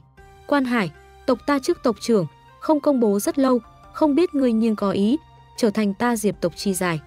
Đại trưởng lão lời này vừa nói ra, mọi người ở đây nhao nhao chấn kinh. Đại trưởng lão chấp trưởng Diệp tộc đã gần đến trăm năm. Nếu Diệp Quan Hải trở thành gia chủ, chẳng phải là mang ý nghĩa Diệp tộc từ đây hư danh. Nhưng mà nghĩ lại, đại gia trong nháy mắt lại hiểu được. Diệp Huyền đã thức tỉnh thần cốt. Diệp tộc nhiều năm đắng đợi cơ hội tốt, bây giờ đang ở trước mắt. Một vị thức tỉnh thần cốt thần khải người, chú định cuộc đời của hắn muốn đạp vào một đầu cùng tiền bối sóng vai con đường cường giả. Thần khải người, ta Diệp tộc đã bao nhiêu năm chưa từng xuất hiện thức tỉnh thần cốt thần khải người. Yên lặng ngắn ngủi đi qua, Diệp tộc từ đường ở trong bộc phát ra từng trận hưng phấn gieo hò. Không ít người trong mắt đã bắt đầu nhiệt lệ nhấp nhô. Những cái kia nguyên bản bởi vì Diệp Huyền nhất định không chịu từ hôn, còn đối với Diệp Quan Hải ôm lấy thành kiến Diệp tộc các tộc lão, cũng nhao nhao quay đầu, hướng Diệp Quan Hải khởi sướng chúc mừng. Chúc mừng tộc trưởng, chúc mừng tộc trưởng. Diệp Huyền tuổi còn nhỏ, liền có thể thức tỉnh thần cốt, tương lai nhất định là ta Diệp tộc cường giả cái thế. Lấy Diệp Huyền tư chất ngút trời, bây giờ lại thức tỉnh thần cốt, hắn muốn cái dạng gì vị hôn thê không được. Liền xem như Huyền Thiên Tông cũng sẽ không vì chuyện này vấn tội Diệp tộc. Một vị thần khải người trọng lượng, đủ để đánh vỡ hết thảy thế tục gông xiềng. Cho dù là tại Huyền Thiên Tông, cũng không ngoại lệ. Tộc trưởng vì ta Diệp tộc sinh ra thiên kiêu như thế, Diệp tộc chức tộc trưởng, thực chí danh quy. Mắt nhìn thấy, vừa mới còn mọi người đồng tâm hiệp lực, vấn tội Diệp Huyền hướng gió, đảo mắt toàn bộ đều ngã về phía Diệp Quan Hải. Tam trưởng lão một mạch quả nhiên là hung hăng cảm thụ một cái, cái gì gọi là thói đời nóng lạnh, phụ bằng tử quý. Nhìn qua đối diện một mặt phong quang đắc ý, vạn người bao vây Diệp Quan Hải, Tam trưởng lão càng là một mặt ghen ghét dữ dội. Dựa vào cái gì hắn Diệp Quan Hải liền có thể sinh ra Diệp Huyền dạng này kỳ lân. Nhìn lại một chút sau lưng mấy cái kia bất thành khí ra hỏa, Tam trưởng lão sắc mặt trong nháy mắt thay đổi bắt đầu vặn vẹo. Giả, đây hết thảy cũng là giả. Diệp Thù, ngươi cho rằng làm một cái hư ảo hình chiếu, liền có thể lừa qua tất cả mọi người sao? Ngươi lừa qua đại trưởng lão, lừa qua tại chỗ tộc nhân, thế nhưng là ngươi không lừa được ta. Trừ phi Diệp Huyền bây giờ liền đứng trước mặt ta, trước mặt mọi người để cho ta kiểm tra thần cốt là thật hay giả, bằng không, ta tuyệt không tin tưởng, hắn Diệp Huyền có thể thức tỉnh thần cốt. Kể từ ngàn năm trước, Diệp tộc các cường giả thể nội thần cốt bị trận kia vô danh nguyền rủa cắt rơi sau đó. Qua nhiều năm như vậy, Diệp tộc bao nhiêu hạng người kinh tài tuyệt diễm đều chưa từng lần nữa mở ra thần cốt, hắn Diệp Huyền dựa vào cái gì có thể thức tỉnh. Nhìn qua một mặt điên cuồng, răng thử muốn nứt tam trưởng lão, tại chỗ Diệp tộc người nhao nhao cùng hắn kéo dài khoảng cách. Liền tam trưởng lão chính mình mạch này tộc nhân cũng rất giống nhìn người điên theo dõi hắn. Các ngươi đây là ánh mắt gì? Ta không điên, ta chỉ nói là xảy ra chuyện thật chân tướng. Mắt thấy chúng bạn xa lánh, tam trưởng lão ánh mắt ở trong tơ mấu càng nồng đậm. Hắn một mặt ghen ghét nhìn chằm chằm Diệp Quan Hải, đều là ngươi, đều là bởi vì ngươi, Diệp Quan Hải. Ngươi bất quá là một cái thân phận hèn mọn chi thứ chi nhánh, có tư cách gì đảm nhiệm Diệp tộc tộc trưởng. Hắn không phục, hắn không phục mình nhiều năm cố gắng như vậy, nhưng không sánh được Diệp Quan Hải sinh một cái hảo nhi tử. Hắn lại càng không phục tùng là, cái này hảo nhi tử, vì cái gì không phải chính hắn sinh ra. Ngươi đáng chết, Diệp Quan Hải, ngươi đáng chết a. À. Tam trưởng lão toàn thân khí thế bộc phát, bỗng nhiên hướng về Diệp Quan Hải phóng đi. Thời khắc mấu chốt, một đạo cực lớn lồng giam từ trên trời giáng xuống, đem nhào về phía giữa không trung Tam trưởng lão cưỡng ép trấn áp. Là đại trưởng lão cùng tại chỗ Diệp tộc các tộc lão ra tay rồi. Diệp Huyền thức tỉnh thần cốt, chính là Diệp tộc ngàn năm không gặp tuyệt thế cơ duyên. Đại trưởng lão tự mình chỉ định Diệp Quan Hải xem như Diệp tộc tộc trưởng, chính là vì mượn nhờ thân tình mối quan hệ, đem Diệp tộc cùng Diệp Huyền vị này thần khải người gắt gao buộc chung một chỗ. Như thế cả tộc đại kế, há có thể bởi vì chỉ là một cái điên tam trưởng lão mà biến cố lan tràn. Tam trưởng lão đột phát bệnh điên, dĩ hạ phạm thượng, tùy tiện công kích tộc trưởng, khi gọt đi trưởng lão chi vị, chấn áp liệt ngục, chịu tâm hỏa đốt cháy chi hình, thân hồn không tiêu tan, cực hình không ngừng. Tam trưởng lão một mạch, niệm hắn gặp mê hoặc tội chất có thể miễn, giao trách nhiệm trong vòng một ngày rời đi diệp tộc tổ địa, cuối cùng cả đời khốn thủ liệt ngục. Đại trưởng lão lời này vừa nói ra, lập tức nghênh đón diệp tộc các tộc lão nhất trí đồng ý. Diệp tộc thật vất vả ra Diệp Huyền như thế một cái thiên chi kiêu tử. Ha có thể bởi vì chỉ là một cái tam trưởng lão, hủy toàn bộ Diệp tộc tốt đẹp tiền đồ. Đến nỗi bị phạt vĩnh vây khốn liệt ngục tam trưởng lão một mạch. Nhiều lắm là coi là một sự bị. Bọn hắn cái này một số người ngày bình thường không ít tại tam trưởng lão bày mưu tính kế, cùng Diệp Quan Hải phụ tử khó xử. Bây giờ Diệp Quan Hải trở thành Diệp tộc tộc trưởng, cái này một số người lưu lại Diệp tộc ở trong cũng là trướng mắt. Không dường như tam trưởng lão cùng nhau phạt đi. Mắt không thấy, tâm không phiền. Đối mặt gia tộc thiên về một bên hướng gió, những cái kia bị phạt lòng có không phục tam trưởng lão một mạch tộc nhân, mặc dù lòng có không phục, nhưng cũng là hữu tâm vô lực. So sánh Diệp Huyền vị này thức tỉnh thần cốt, từ từ bay lên tương lai cường giả. Bọn hắn càng hận hơn vẫn là tam trưởng lão. Nếu không phải tam trưởng lão chính mình điên phê, nhất định phải trước mặt mọi người công kích Diệp Quan Hải vị này tộc trưởng mới nhận chức, bọn hắn làm sao đến mức muốn đi theo ăn chung rơi treo. Cái này lão điên phê, chính mình bản thân chịu liệt ngục chi hình coi như xong, lại còn muốn liên lụy chúng ta cùng một chỗ bị phạt. Khốn thủ liệt ngục, mặc dù không cần giống tam trưởng lão như vậy, chịu đựng tâm hỏa dày vò, hồn phi phách tán. Nhưng cuối cùng cả đời, cũng chỉ bất quá là một cái lâm nguy tù phạm thôi. Mấu chốt là bọn hắn diệp tộc dòng chính thân phận. Rời đi tổ địa, liền mang ý nghĩa bọn hắn mạch này, còn có đời sau của bọn họ, vĩnh viễn, đều không thể lại lấy diệp tộc dòng chính tự xưng. Từ đây biến thành tội đồ, liền gia tộc bên trong bình thường nhất ngoại vi chi thứ cũng không bằng. Cái tai họa này toàn tộc lão điên phê, liền để hắn đi liệt ngục, chịu tâm hỏa cực hình, đốt cho tươi. Tốt nhất là hồn phi phách tán, liền chuyển thế đầu thai cơ hội cũng không có. Diệp tộc chức tộc trưởng không công bố trăm năm, cuối cùng nên đón bọn hắn tộc trưởng mới nhận chức, trừ bỏ bị phạt liệt ngục tam trưởng lão một mạch, toàn bộ Diệp tộc một mảnh hỉ khí an lành. Nhưng mà đại gia trong lòng đều biết, Diệp tộc hỉ khí cũng không phải bởi vì có mới tộc trưởng, mà là có Diệp Huyền vị này thức tỉnh thần cốt thần khải người. Diệp Thù, ngươi vừa trở lại Diệp tộc, không bằng ngay tại trong tộc tu dưỡng chút thời gian, ta cũng tốt hướng ngươi hỏi thăm một chút liên quan tới Huyền Nhi sự tình. Kết thúc kế nhiệm đại điển Diệp Quan Hải, một bộ muốn lưu lại Diệp Thù nói chuyện trắng đêm tư thái. Hắn vốn là Diệp tộc một cái bình thường tộc nhân hệ thứ. Lấy thiên tư của hắn, đời này có thể ở trong tộc hỗn đến cái chấp sự đã là cực hạn. Ai nghĩ tới, lại đụng đại vận giống như sinh hạ Diệp Huyền dạng này thiên chi kiêu tử. Bây giờ càng là một đường cao thăng, trở thành Diệp tộc tộc trưởng. Bởi vì cái gọi là con đi ngàn dặm mẹ lo âu, làm cha cũng giống như vậy, Diệp Huyền rời nhà nhiều năm. Một mực tại Huyền Thiên Tông tìm tu, Diệp Thù lại là Diệp tộc một cái duy nhất, quanh năm nương theo tại Diệp Huyền tả hữu người. Diệp Quan Hải tự nhiên muốn thông qua Diệp Thù, hiểu nhiều một chút liên quan tới chính mình nhi tử sự tình. Đối mặt Diệp Quan Hải giữ lại, Diệp Thù mặt lộ vẻ khó xử. Tộc trưởng, Không phải Diệp Thù không muốn lưu lại, thật sự là ít chủ nhân, có chuyện trọng yếu hơn, để cho ta chạy tới Mục Vân Thành. Chuyện quan trọng. Diệp Quan Hải mặt sắc sững sờ. Chẳng lẽ so với hắn cha đảm nhiệm Diệp tộc tộc trưởng còn trọng yếu hơn? Nhưng khi Diệp Quan Hải nghĩ lại nhất phẩm Mục Vân Thành ba chữ, trong ánh mắt nhưng lại toát ra không giống nhau hào quang. Chẳng lẽ là Huyền Nhi thức tỉnh thần cốt sau đó, đột nhiên nghĩ thông, quyết định cùng Đạm Đài Minh Nguyệt giải trừ hôn ước. Cũng đúng, cũng đúng. Huyền Nhi vốn là ta Diệp tộc thiên chi kiêu tử, bây giờ lại thức tỉnh thần cốt. Huyền Thiên Tông ắt sẽ đối với hắn tăng thêm thẻ đánh bạc, Huyền Thiên Tông thiếu tông chủ vị trí, hơn phân nửa đã ván đã đóng thuyền. Tương lai tiến quân Huyền Thiên Thần Đạo, lấy Huyền Nhi thần khải người thân phận, dạng gì thiên kiêu, thần nữ tìm không thấy. Người trẻ tuổi nhất thời khí phách, làm việc xúc động, cũng là có thể hiểu được. Chỉ cần hắn biết được dừng cương trước bờ vực, cuối cùng không uổng công trưởng thành một phen. Nói đến, vẫn là ta người cha này không có bản sự, hại hắn. Nếu không phải bởi vì trước đây, Diệp Quan Hải thấp cổ bé họng, Diệp Huyền thiên phú chưa hiện ra. Gia tộc ôm hoàn thành tiên tổ ước định tâm tư để cho Diệp Huyền cùng Đạm Đài Minh Nguyệt quyết định hôn ước. Diệp Huyền cũng sẽ không bởi vì chuyện hôn ước bị người lên án. Bây giờ xem ra, Diệp tộc trước đây cùng Đạm Đài ra phần này hôn ước, vốn là thân phận không đáp. Nhìn trước mặt mặt mũi tràn đầy tự trách, tự mình địch hóa Diệp Quan Hải, Diệp Thu mấy lần muốn mở miệng, nhưng hắn cuối cùng vẫn nhịn được. Tộc trưởng, thiếu chủ nhân chuyện cần làm, tự nhiên có hắn lý do, chúng ta chỉ cần ở sau lưng yên lặng ủng hộ hắn liền tốt. Câu nói này vốn là Diệp Thù tại nội tâm chỗ sâu, yên lặng thuyết phục chính mình. Nhưng hắn bây giờ cảm thấy Diệp Quan Hải so với hắn càng cần hơn câu nói này. Hy vọng tộc trưởng sau này biết tình hình thực tế, có thể nghĩ thoáng một chút. Diệp Thu vụng trộm nhìn Diệp Quan Hải một chút, trên người Huyền Thiên Thông Linh Thần phù lần nữa lấp lóe, trong nháy mắt hóa thành một cỗ lưu quang biến mất ở Diệp tộc ở trong. Mục Vân Thành, Đạm Đài gia. Có Diệp Huyền cung cấp đủ loại kỳ chân đại dược, Đạm Đài Minh Nguyệt Thần huyết gồ rửa tốc độ cũng bắt đầu gấp đôi tăng lên. Chỉ kém một điểm cuối cùng, thần huyết liền có thể triệt để gồ rửa toàn thân của ngươi, từ nay về sau, ngươi tu luyện sẽ nhất phi trùng thiên. Trong chiếc nhẫn nữ từ thần bí phóng lên trời, lấy tàn hồn trạng thái, bảo vệ đạm đài minh nguyệt toàn thân kinh mạch, để phòng dược lực đối với đạm đài minh nguyệt bản thân sinh ra tổn thương. Nhìn qua dược lực dưới sự kích thích, quanh thân linh vận, hào quang lấp lánh đạm đài minh nguyệt, nữ tử thần bí đáy mắt thoáng qua một vòng nhàn nhạt, nhạt vui mừng.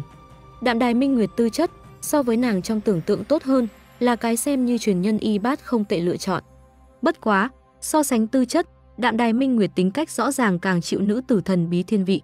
Trên con đường tu hành chưa từng thiếu khuyết thiên tài, rất nhiều thiên tài vì tự thân lợi ích, càng là không từ thủ đoạn. Đồ nhi này của ta nội tâm thuần lương, nhất là ôn hòa, bằng vào điểm ấy, ta tất yếu bảo hộ nàng một thế không lo. Thường thấy tu hành thế giới ngươi lừa ta gạt, bội bạc, nữ tử thần bí ngược lại càng ưa thích đạm đài minh nguyệt trên thân những thứ này chất phác đặc chất.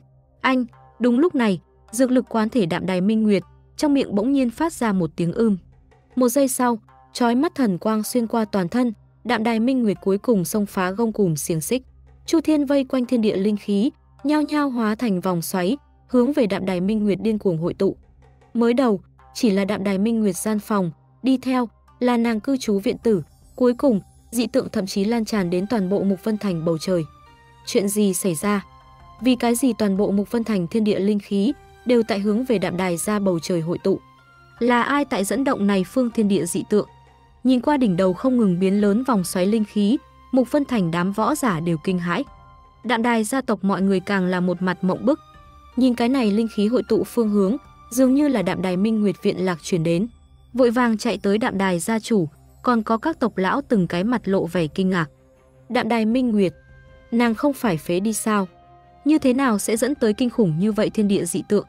Có thể dẫn tới vòng xoáy linh khí to lớn như vậy, hẳn là kinh động một phương tuyệt thế thiên tài. Rất rõ ràng, đạm đài minh nguyệt cũng không phù hợp cái này một đặc chất. Chẳng lẽ là nàng trong phòng còn có những người khác tại tu luyện? Đuổi tới đạm đài minh nguyệt bên ngoài đạm đài gia chủ, còn có các tộc lão, nhao nhao một mặt như có điều suy nghĩ hướng về đối diện cửa phòng đóng chặt nhìn lại. Có phải hay không là Diệp Huyền? Đúng lúc này, một cái tộc lão đột nhiên mở miệng. Diệp Huyền, đạm đài gia chủ bên trong hơi động lòng. Hôm qua, Diệp Huyền ở trong thư vì đạm đài Minh Nguyệt Cường ngạnh chỗ dựa thái độ, dẫn tới không thiếu đạm đài tộc nhân nhao nhao ngờ tới, hai người tự mình sớm đã ám kết tình cảm. Bây giờ, nghe xong bên cạnh cái này vị tộc lão mà nói, lại liên tưởng đến gia tộc bầu trời thiên địa dị tượng, đạm đài gia chủ càng phát giác các tộc nhân ngờ tới, cũng không phải là huyệt chống dâng lên. Chẳng lẽ Đạm Đài Minh Nguyệt trong phòng dẫn phát thiên địa dị tượng người, thực sự là Diệp Huyền? Trong lòng một khi có ý nghĩ như vậy, rất nhiều chuyện liền bắt đầu ở đám người trong đầu, tự động hợp lý hóa. Không hổ là Diệp tộc tuyệt thế yêu nghiệt, Huyền Thiên Tông thiếu tông chủ người ứng cử. Tùy tiện, liền có thể dẫn tới như vậy thiên địa kỳ quan linh khí dị tượng, quả nhiên là ngút trời kỳ tài, tiềm lực vô tận. Ta đạm đài ra có thể đến này lương tế, quả nhiên là tổ tông hiển linh, tam sinh hữu hạnh. Bọn hắn mông ngựa vỗ vang động trời, hoàn toàn không có chú ý tới. Bây giờ, bên trong mục phân thành mấy cỗ lực lượng cường đại đã nhao nhao phong tỏa đạm đài ra. Nho nhỏ một cái mục phân thành, lại còn có yêu nghiệt như thế, thật sự là hiếm thấy, hiếm thấy. Mục Vân thành, một chỗ cửa tử lầu, một cái toàn thân rách tung tóe, chụp lấy lỗ mũi, ngồi ở trên bậc thang hèn rượu mũi lão đầu tử, say khướt nhặt vò rượu bỗng nhiên lóe sáng đứng lên. Cùng lúc đó, Mục Vân Thành bên ngoài, một người mặc trường bào màu xám, gánh vác trường kiếm trung niên, nhàn nhạt hướng về bên trên Mục Vân Thành chống không vòng xoáy linh khí nhìn lướt qua. Trên trời rơi xuống dị tượng, hẳn là xảy ra điều gì khó lường kinh thế chi tài, đây là ta Ngọc Sơn kiếm phái Phúc Nguyên.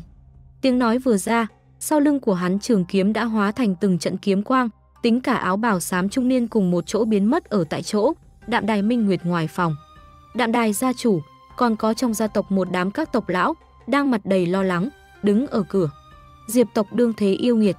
Huyền Thiên Tông khâm định thiếu tông chủ người ứng cử. Bây giờ, cùng bọn hắn cũng chỉ có một môn chi cách. Nếu như vận khí tốt, có thể cùng hắn nhờ vả chút quan hệ lời nói. Nghĩ tới đây, đạm đài gia chủ, còn có phía sau hắn các tộc lão nhao nhao hưng phấn không thôi. Vì để tránh cho quấy giày Diệp Huyền, đạm đài gia chủ càng là trực tiếp hạ lệnh, gia tộc ở trong trừ tộc lão cùng gia chủ bên ngoài. Đám người còn lại không thể dễ dàng tới gần đạm đài minh nguyệt cư trú viện lạc nửa bước. Thời gian từng giây từng phút trôi qua. Mắt nhìn thấy, đạm đài minh nguyệt viện tử bầu trời thiên địa linh khí, dần dần bắt đầu khôi phục lại bình tĩnh, đạm đài gia chủ cùng chung quanh các tộc lão cũng nhao nhao giữ vững tinh thần. Cuối cùng, kết thúc rồi à? Nếu như cái này thiên địa dị tượng một mực hiện ra, bọn hắn còn không biết lúc nào mới có thể nhìn thấy Diệp Huyền. Cách kết đúng lúc này, cửa phòng mở ra, Đạm Đài Minh Nguyệt từ bên trong đi ra. Đạm Đài gia chủ, còn có tại chỗ các tộc lão, nhao nhao mặt mũi tràn đầy chờ mong, dường như đang chờ đợi cái gì. Nhưng là bọn họ chờ đợi rất lâu, vẫn không có nhìn thấy Diệp Huyền bóng dáng. Người, người đâu? Người nào? Đạm Đài Minh Nguyệt thản nhiên nói. Diệp Huyền A, hắn không phải tại gian phòng của ngươi sao? Vừa rồi thiên địa dị tượng, hẳn là hắn đưa tới A. Đạm đài gia chủ lời này vừa nói ra, đạm đài Minh Nguyệt lập tức nhăn làm một đoàn. Hợp lấy trong mắt bọn hắn, đạm đài Minh Nguyệt cũng chỉ là một cái có thể mượn hôn ước vì gia tộc cung cấp tiện lợi linh vật. Tại những này người tư duy ý thức bên trong, căn bản sẽ không nghĩ đến dẫn phát thiên địa dị tượng người là cái kia bị bọn hắn xem nhẹ 10 năm, gọi phế vật đạm đài Minh Nguyệt. Đúng lúc này, một vệt sáng đột nhiên từ trên trời giáng xuống, chính là đến đây đưa tin Diệp Thủ. Chúc mừng Minh Nguyệt tiểu thư, thành công đột phá gông cùm xiềng xích, dẫn tới thiên địa dị tượng như thế, nghĩ đến nhất định là thu hoạch không nhỏ. Nhìn trước mặt cùng hôm qua tưởng như hai người đạm đài Minh Nguyệt, Diệp Thù nội tâm tự mình kinh hãi. Thiếu chủ nhân ánh mắt quả nhiên cay độc. Diệp Thù còn nhớ rõ, hắn lần đầu tiên tới đạm đài ra lúc, khi đó đạm đài Minh Nguyệt vẫn là một cái tu vi mất hết người.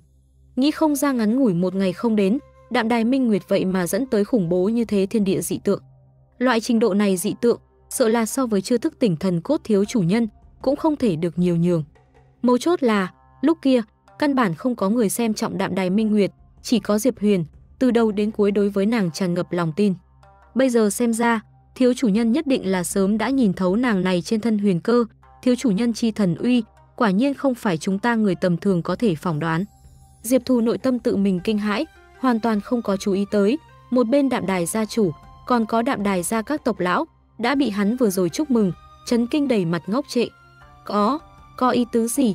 Vừa rồi dẫn tới thiên địa dị tượng người không phải Diệp Huyền, là, là đạm đài Minh Nguyệt. Nhưng nàng không phải đã phế đi sao? Diệp Thù cùng đạm đài Minh Nguyệt ở giữa đối thoại, bọn hắn nghe xong nhất thành nhị sở.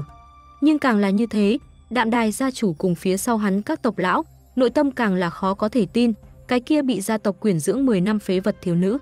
Làm sao có thể dẫn tới bên trên Mục Vân Thành khoảng không, khủng bố như thế vòng xoáy linh khí.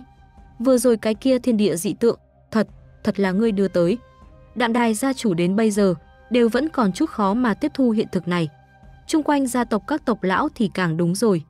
Bọn hắn đều đang đợi đạm đài minh nguyệt chính miệng thừa nhận. Thế nhưng là Đạm Đài Minh Nguyệt căn bản không để ý đến ý của bọn hắn, nàng quay đầu nhìn về phía một bên Diệp Thù, Tôn Sứ đi mà quay lại, chẳng lẽ là vì chuyện hôm qua. Hôm qua, Diệp Thù rời đi về sau, Đạm Đài Minh Nguyệt tỉnh táo lại, cũng muốn rất nhiều. Nàng cùng Diệp Huyền chưa từng gặp mặt, Diệp Huyền giúp đỡ như thế, chỉ có thể nói rõ Diệp Huyền người này, trời sinh trọng tín thủ tín, mà không phải bởi vì nàng Đạm Đài Minh Nguyệt người này. Nghĩ rõ ràng điểm ấy sau đó, Đạm Đài Minh Nguyệt cũng sẽ không giống vừa mới bắt đầu như vậy xúc động. Coi như Diệp Huyền trọng tín thủ tín, hữu tâm giúp đỡ, nhưng ta cùng hắn ở giữa thân phận, thực sự cách xa. Cho dù bây giờ ta tu vi phục hồi, nhưng hắn vẫn là Diệp tộc nổi bật nhất thiên tài, Huyền Thiên Tông thiếu tông chủ người ứng cử. Vô luận là Diệp tộc, vẫn là Huyền Thiên Tông, cũng sẽ không cho phép Diệp Huyền dạng này thiên chi kiêu tử đi cưới một cái thực lực, ra thế, thấp như vậy hơi đạm đài minh nguyệt. Chữ vật giới chỉ bên trong đại dược đã bị sư tôn thần lực luyện hóa, ta cũng hoàn thành thần huyết gồ sửa. Coi như Diệp tộc muốn lấy lại giới chỉ, đoạn tuyệt ta cùng với Diệp Huyền ở giữa hôn sự, tại ta mà nói cũng không có bất luận cái gì thiệt hại. Chuyện cho tới bây giờ, Đạm Đài Minh Nguyệt đã không suy nghĩ thêm nữa, tìm Diệp Huyền quyết một cao thấp, thế sư tôn tìm về mặt mũi các loại chuyện. Diệp Huyền hành động đã chứng minh hắn là một cái trọng tín thủ tín, quang minh lỗi lạc người. Nếu nàng Đạm Đài Minh Nguyệt sau này còn muốn vì loại chuyện này đi khiêu chiến Diệp Huyền, đừng nói Đạm Đài Minh Nguyệt qua không được cửa này trong lòng mình, đầu tiên từ đạo nghĩa bên trên, nàng cũng đã thua. Đây là Diệp Huyền hôm qua cho ta chữ vật giới chỉ, bên trong bị ta luyện hóa vài cọng đại dược, đợi ta có tu luyện thành sau đó, tự sẽ còn hắn. Đến nỗi việc hôn ước, Đạm Đài Minh Nguyệt lời vừa nói ra được phân nửa, đưa ra giới chỉ lại bị Diệp Thù đẩy trở về. Tôn sứ hai chữ thực không dám nhận, ta chỉ là thiếu chủ nhân bên cạnh một cái chân chạy, đến nỗi giới chỉ. Thiếu chủ nhân đưa ra ngoài đồ vật, há có thu hồi lý lẽ. Tựa hồ nhìn ra Đạm Đài Minh Nguyệt nội tâm lo nghĩ, Diệp Thù phút cuối cùng lại bồi thêm một câu, Diệp tộc cùng Huyền Thiên Tông đã đồng ý thiếu chủ nhân quyết định, việc hôn ước không cần lo nghĩ, cái gì, Diệp tộc cùng Huyền Thiên Tông thế mà đồng ý. Đạm Đài Minh Nguyệt mới vừa vặn khôi phục tu vi không bao lâu. Tin tức còn đến không kịp truyền đi. Loại tình huống này, Diệp tộc cùng Huyền Thiên Tông sao lại tùy ý Diệp Huyền chọn một không cách nào tu luyện phế nữ làm vợ.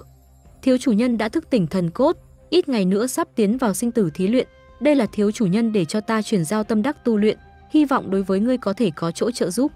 Nhìn qua Diệp Thủ trong tay đưa tới thư, Đạm Đài Minh Nguyệt cả người đều ngây dại, cái gì? Diệp Huyền thức tỉnh thần cốt. Trung quanh nghe được cái tin tức này Đạm Đài gia chủ, còn có Đạm Đài gia các tộc lão thì càng đúng rồi. Sâu trong nội tâm chấn kinh, sớm đã không cách nào dùng ngôn ngữ miêu tả. Diệp Huyền thiên phú nguyên bản tại thế hệ trẻ tuổi ở trong cũng đã đầy đủ làm cho người hít thở không thông, bây giờ lại thức tỉnh thần cốt, trở thành thần khải người. Sau này, đừng nói là tại Nam Hoang vực, liền xem như tiến vào bên trong Hoang Linh vực, Diệp Huyền Thiên Tư cũng là xếp hàng đầu. So sánh chung quanh mặt mũi tràn đầy kinh hãi các tộc lão, Đạm Đài Minh Nguyệt nhưng là mặt khác một phen cảnh tượng. Nàng vừa mới đi qua sư tôn thần huyết gồ sửa, khôi phục tu vi. Nguyên lai tưởng rằng không bao lâu nữa, liền có thể đuổi kịp Diệp Huyền bước chân. Không có nghĩ rằng, Diệp Huyền lại trực tiếp mở ra thần cốt. Khó trách, khó trách Huyền Thiên Tông cùng Diệp tộc sẽ như thế phóng túng hắn.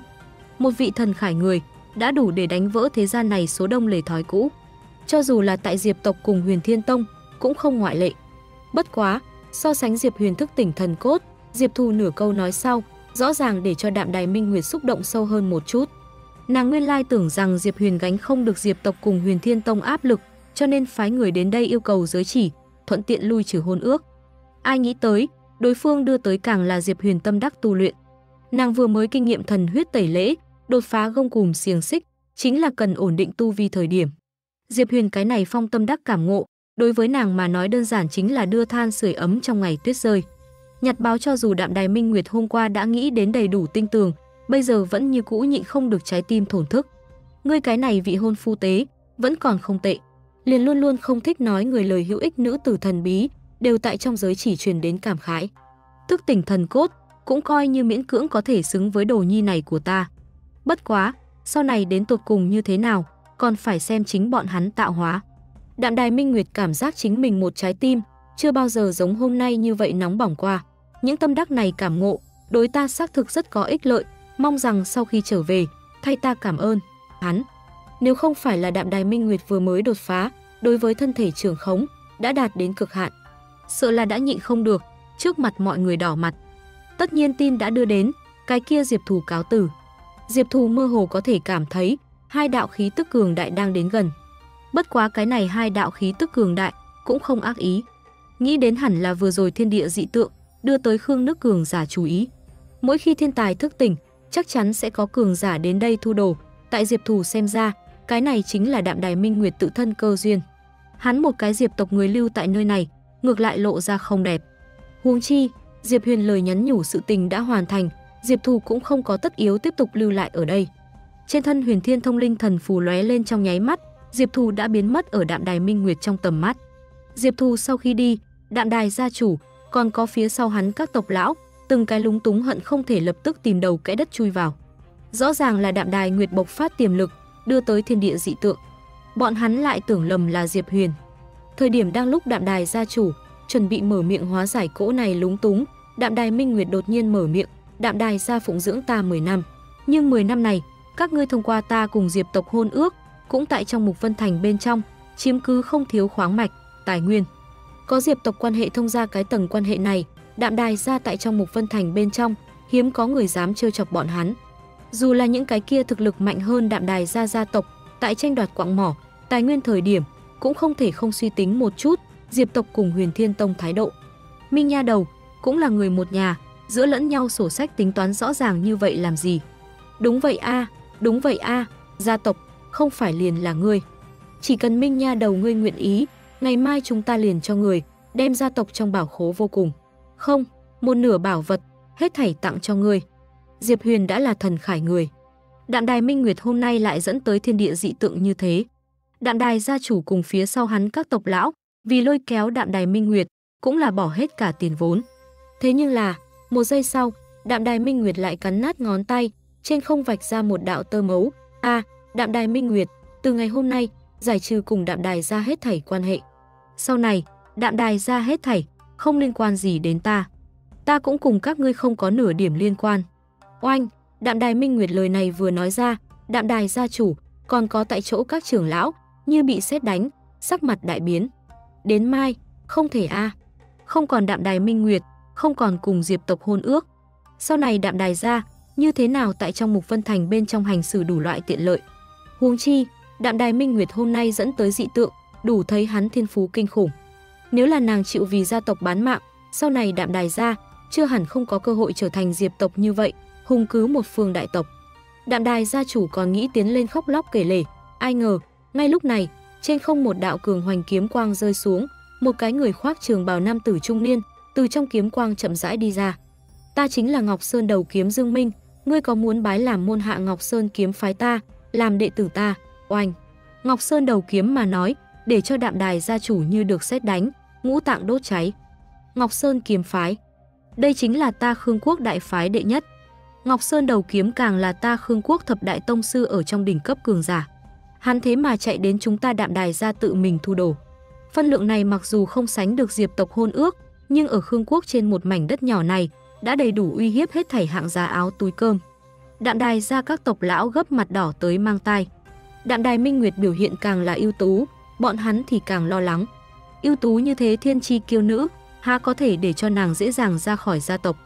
Đang lúc đạm đài gia chủ, khổ sở suy nghĩ nên như thế nào vãn hồi đạm đài minh nguyệt thời điểm trên không một đầu đùi gà cốt đánh vào ngọc sơn đầu kiếm kiếm quang phía trên chỉ một thoáng kiếm quang bốn nát toàn bộ đạm đài ra đều bao phủ tại một cỗ cường đại mà kinh khủng dưới sự uy áp ngọc sơn ngươi vẫn là hoàn toàn như trước đây nóng lòng a nói chuyện chính là một cái treo lên hẻm rượu mũi trà đạp lão đầu nhi nhìn thấy hẻm rượu mũi lão đầu nhi trong nháy mắt ngọc sơn đầu kiếm sắc mặt đột nhiên biến đổi hồng không lão nhân hắn như thế nào cũng đến Mục Vân Thành. Ngọc Sơn kiếm phái, tuy là Khương Quốc cảnh nội tối cường môn phái. Ngọc Sơn đầu kiếm, càng là Khương Quốc thập đại tông sư bên trong đứng hàng đầu cường giả tuyệt đỉnh. Nhưng trước mắt Hồng Không lão nhân, lai lịch đồng dạng không tầm thường, hắn vốn là một kẻ tán tu, ngoài ý muốn thu được võ đạo truyền thừa, từ đây đã xảy ra là không thể ngăn cản.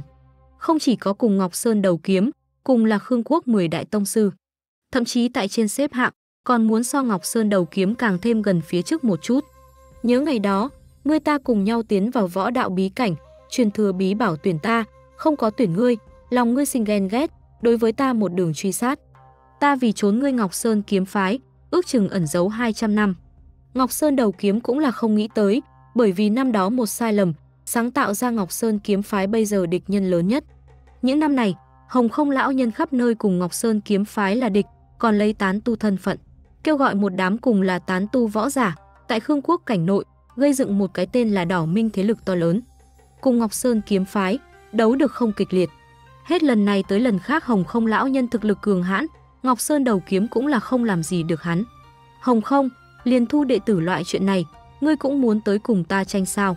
Ngọc Sơn đầu kiếm tay vịn trường kiếm, một bộ tùy thời chuẩn bị động thủ bộ dáng. Khai chiến sao? Hồng Không lão nhân khóe miệng một phát. Hắn vốn là tán tu xuất sinh, một thân cơ duyên tất cả đều là tại trong liều mạng tranh đấu thu được, trong tay lại nắm giữ đỏ minh, tự nhiên không sợ Ngọc Sơn kiếm phái.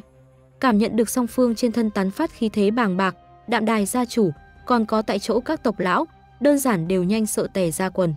Hai người đều là Khương Quốc thập đại tông sư bên trong trí cường giả. Nếu bọn họ thật tại đạm đài ra bầu trời đánh nhau, đến lúc đó đừng nói là đạm đài ra, liền xem như toàn bộ Mục Vân Thành, cũng có thể cùng nhau chôn cùng. Ngay tại song phương hết sức căng thẳng lúc, một cái đen như mực thước từ trên trời giáng xuống, đem hai người thân ảnh đẩy lui đến bên ngoài trăm trượng. Chuyện gì xảy ra? Vừa mới xảy ra cái gì? Hồng Không lão nhân cùng Ngọc Sơn đầu kiếm đều là Khương Quốc 10 đại tông sư cường giả đỉnh cao. Cư nhiên bị một cái thước đẩy lui trăm trượng. Một màn trước mắt, không chỉ có đạm đài gia chủ cùng phía sau hắn các tộc lão, cảm giác không thể tưởng tượng nổi. Ngay cả Hồng Không lão nhân cùng Ngọc Sơn đầu kiếm bản thân cũng giống như vậy. Người nào dám đồng thời đắc tội Ngọc Sơn kiếm phái cùng Đỏ Minh, nghĩ tới hậu quả của việc làm như vậy sao? Mới vừa rồi còn như nước với lửa hồng không lão nhân, Ngọc Sơn đầu kiếm, trong nháy mắt lại lui đến cùng một chỗ cùng chung mối thủ. Ngọc Sơn kiếm phái, Đỏ Minh, có lẽ tại trên Khương Quốc phiến khu vực này, các ngươi coi như được là một phương nhân vật, nhưng mà phóng nhãn toàn bộ Nam Hoang vực, cái rắm cũng không bằng. Giữa không trung, đột nhiên vang lên thần bí tiếng nói, để cho Hồng Không Nhật báo lao nhân cùng Ngọc Sơn đầu kiếm, diện mục tăng đỏ bừng. Nhưng mà không thể phủ nhận, đối phương nói đích thật là sự thật. Khương quốc chỉ là Nam Hoang vực đông đảo phàm nhân quốc độ một trong. Đối với Nam Hoang vực bên trong những cái kia siêu cấp thế lực, Ngọc Sơn kiếm phái cùng đỏ minh điểm này nội tình, nông cạn không chỉ một sao nửa điểm. Các hạ, đến tột cùng là người nào? Ngọc Sơn đầu kiếm sắc mặt lạnh lẽo, nhưng mà ngữ khí đã không còn trước đây hùng hổ dọa người. Bằng các ngươi, còn chưa xứng hỏi danh hào của ta, đừng nói là các ngươi, liền xem như Khương Quốc hoàng thất lão quái vật kia tới, nhìn thấy ta, cũng phải ảo não cút về. Nghe đến đó, Ngọc Sơn đầu kiếm cùng hồng không sắc mặt của lão nhân triệt để thay đổi. Khương Quốc 10 đại tông sư, Khương Quốc hoàng thất cái vị kia lão ra hỏa luận đệ nhất, những người khác đều phải ngoan ngoãn xếp tại đằng sau. Cũng chính bởi vì có hắn tồn tại, Khương Quốc những năm này mới có thể một mực sừng sững không ngã. Các hạ lời này, nói đến có phần quá cuồng vọng một chút à.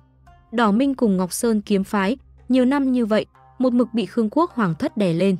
Truy cứu căn bản, cũng là bởi vì Xích Sơn lão nhân cùng Ngọc Sơn đầu kiếm, đánh không lại Khương Quốc hoàng thất bên trong lão gia hỏa kia.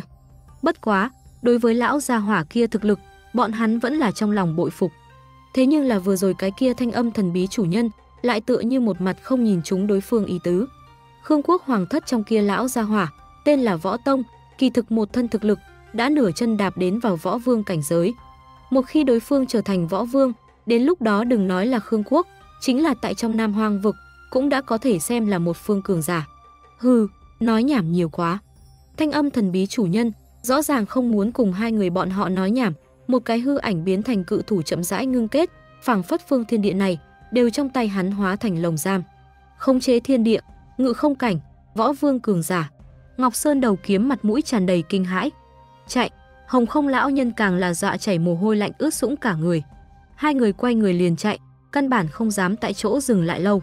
Nhìn lấy một màn trước mắt, đạm đài gia chủ cùng những tộc lão kia cái cầm đều nhanh kinh điệu. Ngự không cảnh, võ vương cường giả. Bọn hắn đơn giản không thể tin được, dạng này cường giả sẽ xuất hiện tại trong nho nhỏ Mục Vân Thành bên trong. Không đợi đại gia nghĩ rõ ràng, đây hết thảy là chuyện gì xảy ra, một đạo hào hoa phong nhã thân ảnh đã không hề có điểm báo trước, trống rỗng xuất hiện tại đạm đài minh nguyệt bên cạnh. Cái kia hai cái võ đạo tông sư, không xứng với tư chất của ngươi, ta tên Phạn Thiên, ngươi có muốn làm học trò ta, vào ta tinh đấu học viện. Đối phương nhẹ nhàng một câu nói, tại chỗ đem đạm đài gia chủ, còn có phía sau hắn các tộc lão cho chấn choáng váng. Tinh đấu học viện, Nam Hoang vực bên trong, cùng Huyền Thiên Tông nổi danh, tinh đấu học viện. Trời ạ, lại là tinh đấu học viện, tự mình đến ta Mục Vân Thành tới thu đồ.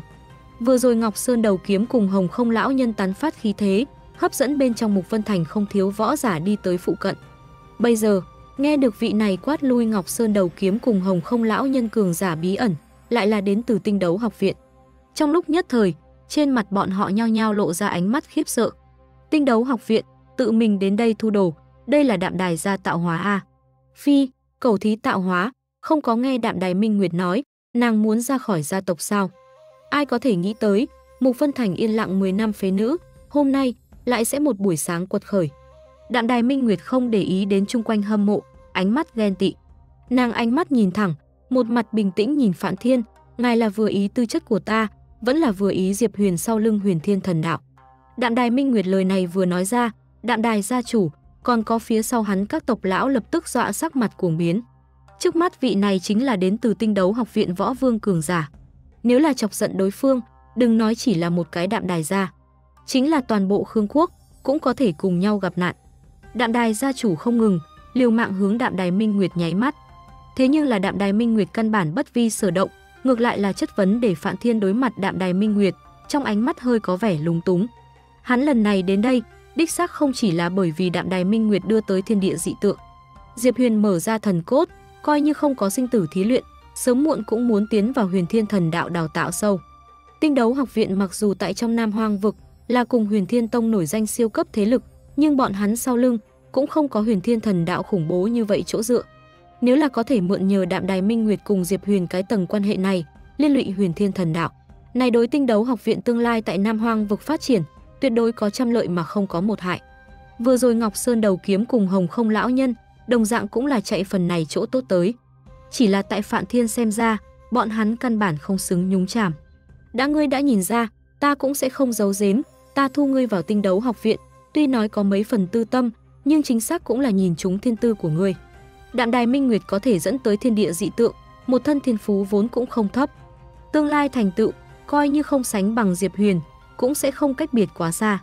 Mấu chốt là, cuộc mua bán này đối với tinh đấu học viện tới nói, vốn là một phát song sâu, kiếm bộn không lỗ. Vô luận là Đạm Đài Minh Nguyệt quật khởi, vẫn là Diệp Huyền sau lưng Huyền Thiên Thần Đạo. Đối với tinh đấu học viện cũng là trăm lợi mà không có một hại. Ngươi đã ra khỏi gia tộc, cũng liền mang ý nghĩa đoạn tuyệt tất cả tu luyện cung ứng, nếu ngươi đồng ý vào ta tinh đấu học viện, ta có thể thay học viện hứa hẹn đủ loại tài nguyên, bí kỹ, ngươi muốn bao nhiêu, liền có bao nhiêu. Hơn nữa tương lai ngươi thành công cuột khởi sau đó, tinh đấu học viện tuyệt không hạn chế ngươi phát triển. phạm Thiên đây là tại đánh minh bài. Bất quá, hắn cái này công bằng tư thế, đối với Đạm Đài Minh Nguyệt lại là 10 phần hưởng thụ. Cảm nhận được phạm Thiên cùng tinh đấu học viện thành ý, Đạm Đài Minh Nguyệt cười nhạt một tiếng, học sinh gặp qua đạo sư. So sánh Đạm Đài ra những thứ này hục hặc với nhau âm hiểm tiểu nhân, Đạm Đài Minh Nguyệt vẫn là càng ưa thích. Tinh đấu học viện loại này đi thẳng về thẳng, đem tất cả lợi ích vấn đề mở ra tới, quang minh chính đại tác phong làm việc. Huống chi, tinh đấu học viện vốn là nam hoang vực bên trong một phương thế lực lớn. Có học viện che chở, cùng đại lượng tài nguyên tương trợ, đạm đài minh nguyệt quật khởi tốc độ chỉ có thể càng thêm tấn mãnh.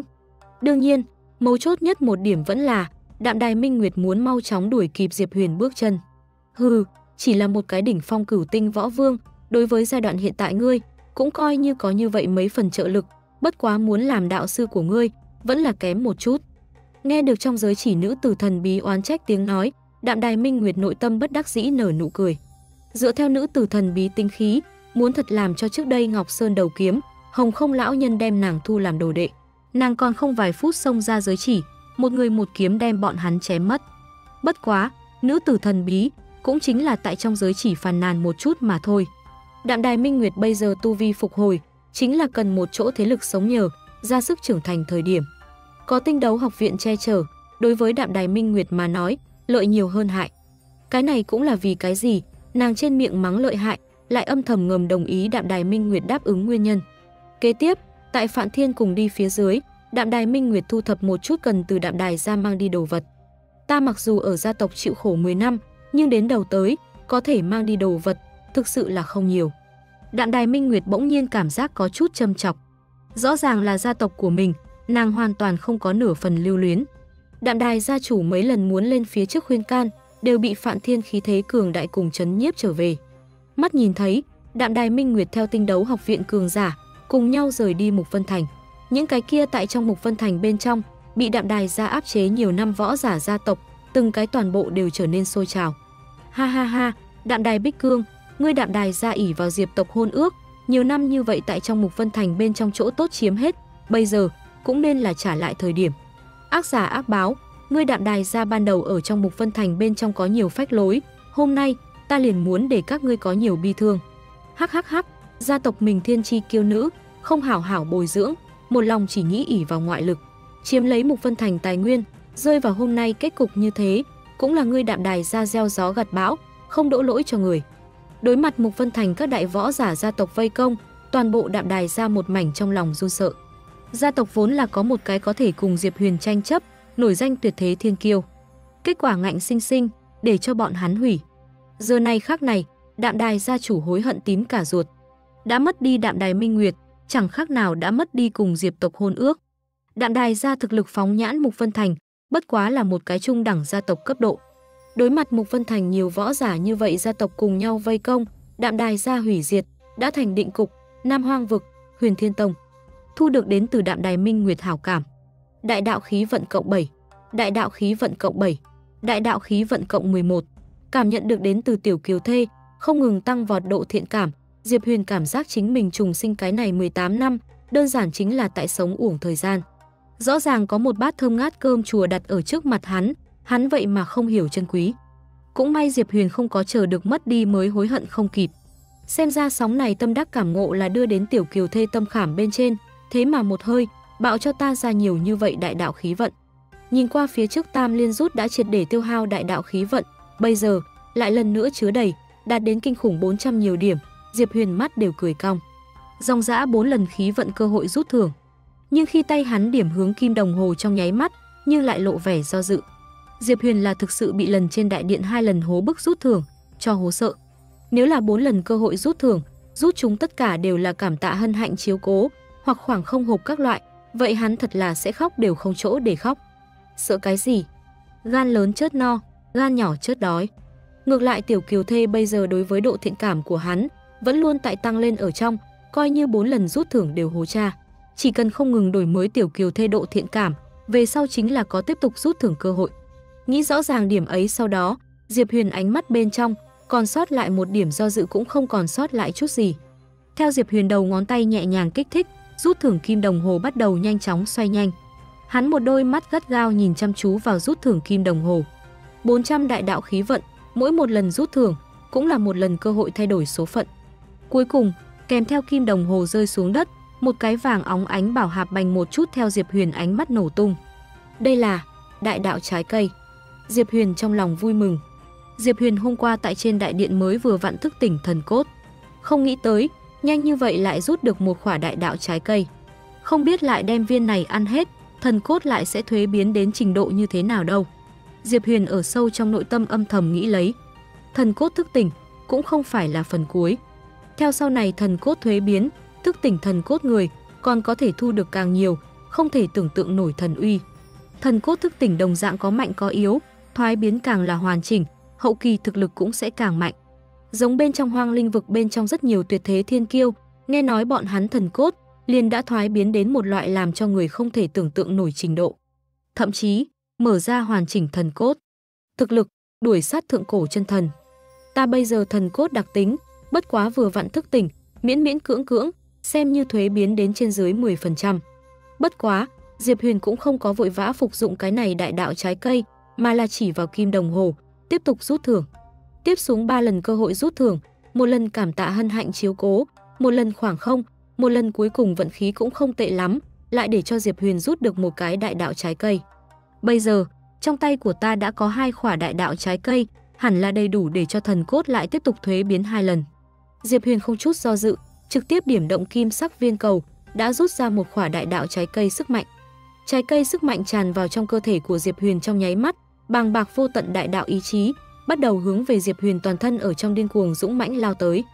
Tại này cổ sức mạnh trùng kích vào, thần cốt dần dần bắt đầu sinh ra phản ứng. Màu vàng nhạt đường vân bắt đầu ở Diệp Huyền thần cốt phía trên câu họa. Theo kim sắc đường vân phát họa, từng trận bàng bạc thần uy cũng bắt đầu theo trong cơ thể của Diệp Huyền bạo phát đi ra.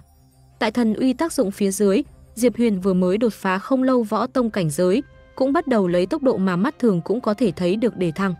Bất quá thời gian trong nháy mắt, liền từ nhất tinh võ tông tăng lên tới nhất tinh đỉnh phong. Bất quá, thần cốt vĩ lực cũng không liền như vậy ngừng. Diệp Huyền võ giả tu vi, một mực từ nhất tinh đỉnh phong, một đường tăng lên tới tam tinh võ tông trạng thái. Thế mà trong nháy mắt, liền hoành khóa ba cái tiểu cảnh giới. Võ giả, võ linh, võ sư, đại võ sư, võ tông, những thứ này có thể đối với võ giả thực lực sinh ra chất biến cảnh giới, bị võ giả xưng là đại cảnh giới. Mà mỗi một cái võ giả trong cảnh giới tinh cấp lại được xưng làm tiểu cảnh giới. Mặc dù cái này một khỏa đại đạo trái cây chỉ là để cho Diệp Huyền hoành khóa ba cái tiểu cảnh giới, nhưng nếu là đổi thành bình thường khổ tu, không có một non nửa năm, chắc chắn là không được. Mấu chốt là, Diệp Huyền lần này tăng lên không chỉ là võ giả cảnh giới, còn có trong cơ thể hắn thần cốt, cái này một khỏa đại đạo trái cây, trực tiếp đem Diệp Huyền thần cốt thoái biến đến 20% trạng thái.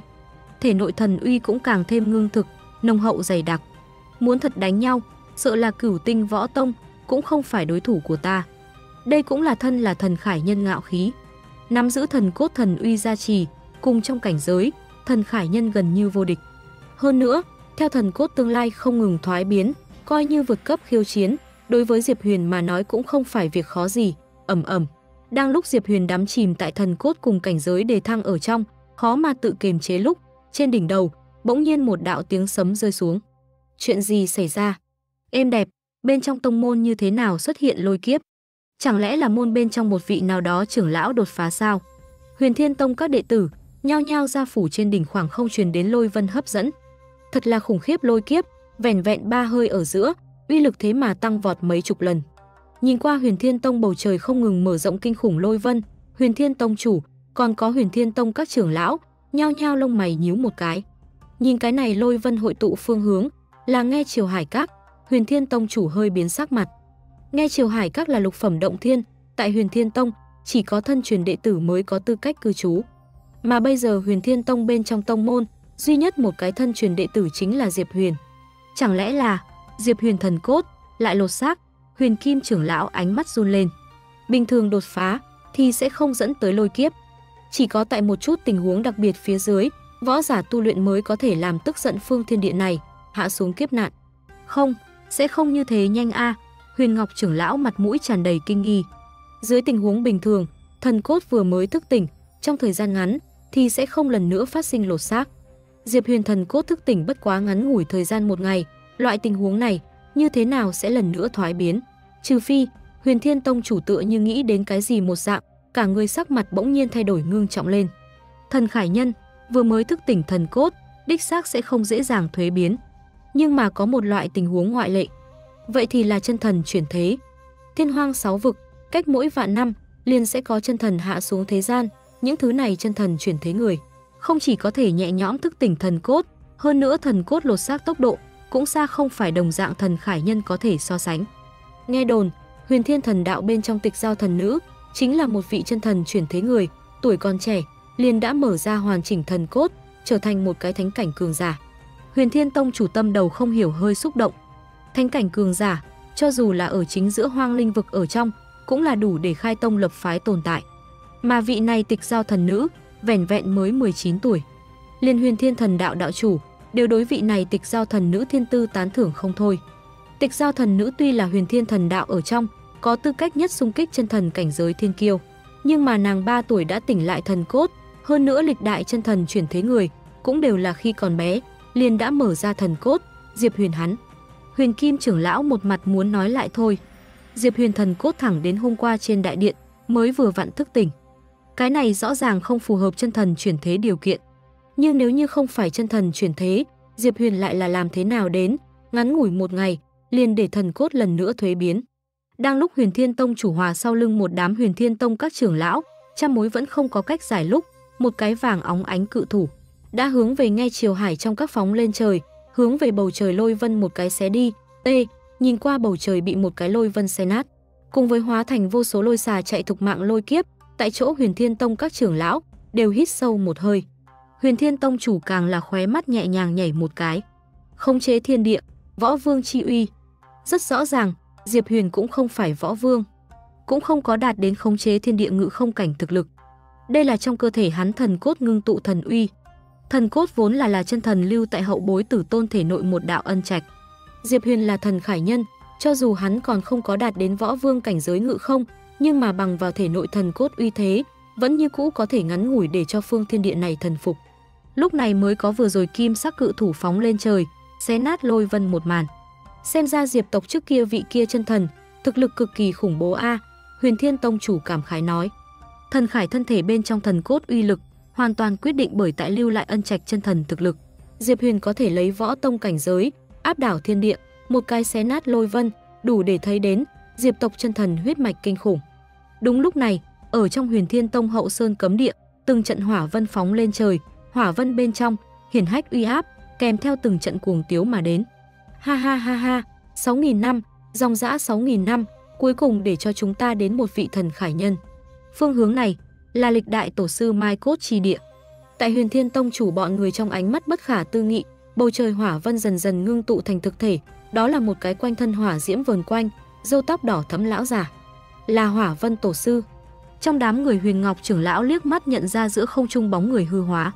Hỏa Vân tổ sư chính là 6000 năm trước, cái kia vị tướng Hỏa Chi đại đạo, ngưng kết đến chân thần cảnh giới cường giả tuyệt thế. Huyền Thiên Tông tại Nam Hoang vực bên trong uy danh hiển hách, cùng lịch đại tổ sư cường đại chặt chẽ không thể tách rời. Vừa rồi Huyền Ngọc trưởng lão trong miệng nâng lên vị này Hỏa Vân tổ sư, chính là một trong số đó. Đáng tiếc, Hỏa Vân tổ sư mặc dù đem Hỏa Chi đại đạo ngưng tụ tới chân thần cảnh giới, nhưng hắn bản thân lại vẫn luôn dừng lại ở thánh cảnh đỉnh phong. Không thành chân thần, trung quy là một túm đất vàng. Cuối cùng, Hỏa Vân tổ sư tại 6000 năm trước sinh mệnh hao hết, tọa hóa tại Hậu Sơn cấm địa ở trong. Hỏa Vân tổ sư đều đã chết 6000 năm, hôm nay vì cái gì đột nhiên xuất hiện. Nghe được chung quanh các trưởng lão nghi ngờ tiếng nói, Huyền Thiên Tông chủ khẽ gật đầu một cái, đây cũng không phải là Hỏa Vân tổ sư chân thân, mà là hắn lưu tại thế gian một tia tàn niệm. Một tia tàn niệm còn như vậy cường đại, thực sự là khó có thể tưởng tượng, Hỏa Vân tổ sư toàn thịnh thời kỳ lại nên kinh khủng bực nào. Tại chỗ Huyền Thiên Tông các trưởng lão nhao nhao cảm khái. Hỏa Vân tổ sư đều đã chết 6000 năm. Hôm nay, tàn niệm hiện thế, hơn nữa còn là tại lúc mấu chốt Diệp Huyền thần cốt lột xác. Sự tình rõ ràng không đơn giản. Huyền Thiên Tông chủ không ngừng tại Hỏa Vân tổ sư cùng nghe Triều Hải các ở giữa quét tới quét lui, một mặt như có điều suy nghĩ bộ dáng. Đúng lúc này, giữa không trung Hỏa Vân tổ sư đột nhiên bắt đầu chuyển động. Chỉ thấy hắn bước ra một bước, phảng phất trong thiên địa hỏa diễm đều phải hướng hắn thần phục đồng dạng. Mỗi một lần thân hình di động, sau lưng đều biết tạo thành một đóa cực lớn hỏa liên. Cái này hỏa liên chính là giữa thiên địa, hỏa chi đại đạo thực thể trạng thái. Hỏa Vân tổ sư cứ như vậy từng bước một đi tới nghe chiều hải các bầu trời, một đôi mắt, mắt sáng như đuốc, gắt gao nhìn chăm chú phía dưới Diệp Huyền. Thần cốt mở ra vượt qua 20%, tuổi còn nhỏ, cũng là hiếm thấy, ta chính là Hỏa Vân tổ sư. Ngươi có muốn tu hành Thiên Hỏa đại đạo, truyền thừa, Hỏa Vân tổ sư tàn hồn đột nhiên hàng thế, càng là vì truyền thừa. Nhìn tới ở đây, không thiếu Huyền Thiên Tông đệ tử đã kích động đến run lẩy bẩy, đối với Diệp Huyền ánh mắt hâm mộ, càng là đạt đến đỉnh phong. 6.000 năm trước tuyệt đại cường giả, nguyện ý lưu lại truyền thừa. Đây đối với Diệp Huyền mà nói là bao lớn cơ duyên. Liên Huyền Thiên Tông chủ hòa tại chỗ Huyền Thiên Tông các trưởng lão, bây giờ từng cái một ánh mắt cũng thay đổi nóng bỏng. Diệp Huyền cũng là không nghĩ tới, chính mình phục dụng một khỏa đại đạo trái cây, không chỉ có đưa tới lôi kiếp, càng là đem 6.000 năm trước cường giả tàn niệm đều đánh thức. Thiên hỏa đại đạo, nghe, bộ dáng rất châu bò. Diệp Huyền đang chuẩn bị thuận thế đón lấy truyền thừa, thể nội đại đạo khí vận ngưng tụ kim sắc viên cầu, bỗng nhiên truyền đến một cỗ cảm giác nóng bỏng. Chuyện gì xảy ra? Đại đạo khí vận tựa hồ không muốn tiếp nhận Hỏa Vân tổ sư truyền thừa. Cảm nhận được thể nội đại đạo khí vận biến hóa, Diệp Huyền ánh mắt hơi động một chút. Đệ tử thiên tư còn thấp, chỉ là mở ra thần cốt, đã hao phí quá nhiều tinh lực, bây giờ không có dư lực, lại đi kế thừa Thiên Hỏa đại đạo, còn xin tổ sư tại tông môn ở trong khác chọn hiền năng, kế thừa thiên hỏa đại đạo. Mặc dù hỏa vân tổ sư thiên hỏa đại đạo nghe rất ngưu bức, nhưng mà ngưu bức nữa có thể so sánh Diệp Huyền kim thủ chỉ còn ngưu. Có kim thủ chỉ tay, coi như cầm một cái chân thần truyền thừa tới cùng hắn đổi, Diệp Huyền cũng không đổi. Huống chi, Hỏa Vân tổ sư vẻn vẹn chỉ là đem Thiên Hỏa đại đạo tu luyện đến chân thần cảnh giới. Bản thân hắn cũng không là chân thần.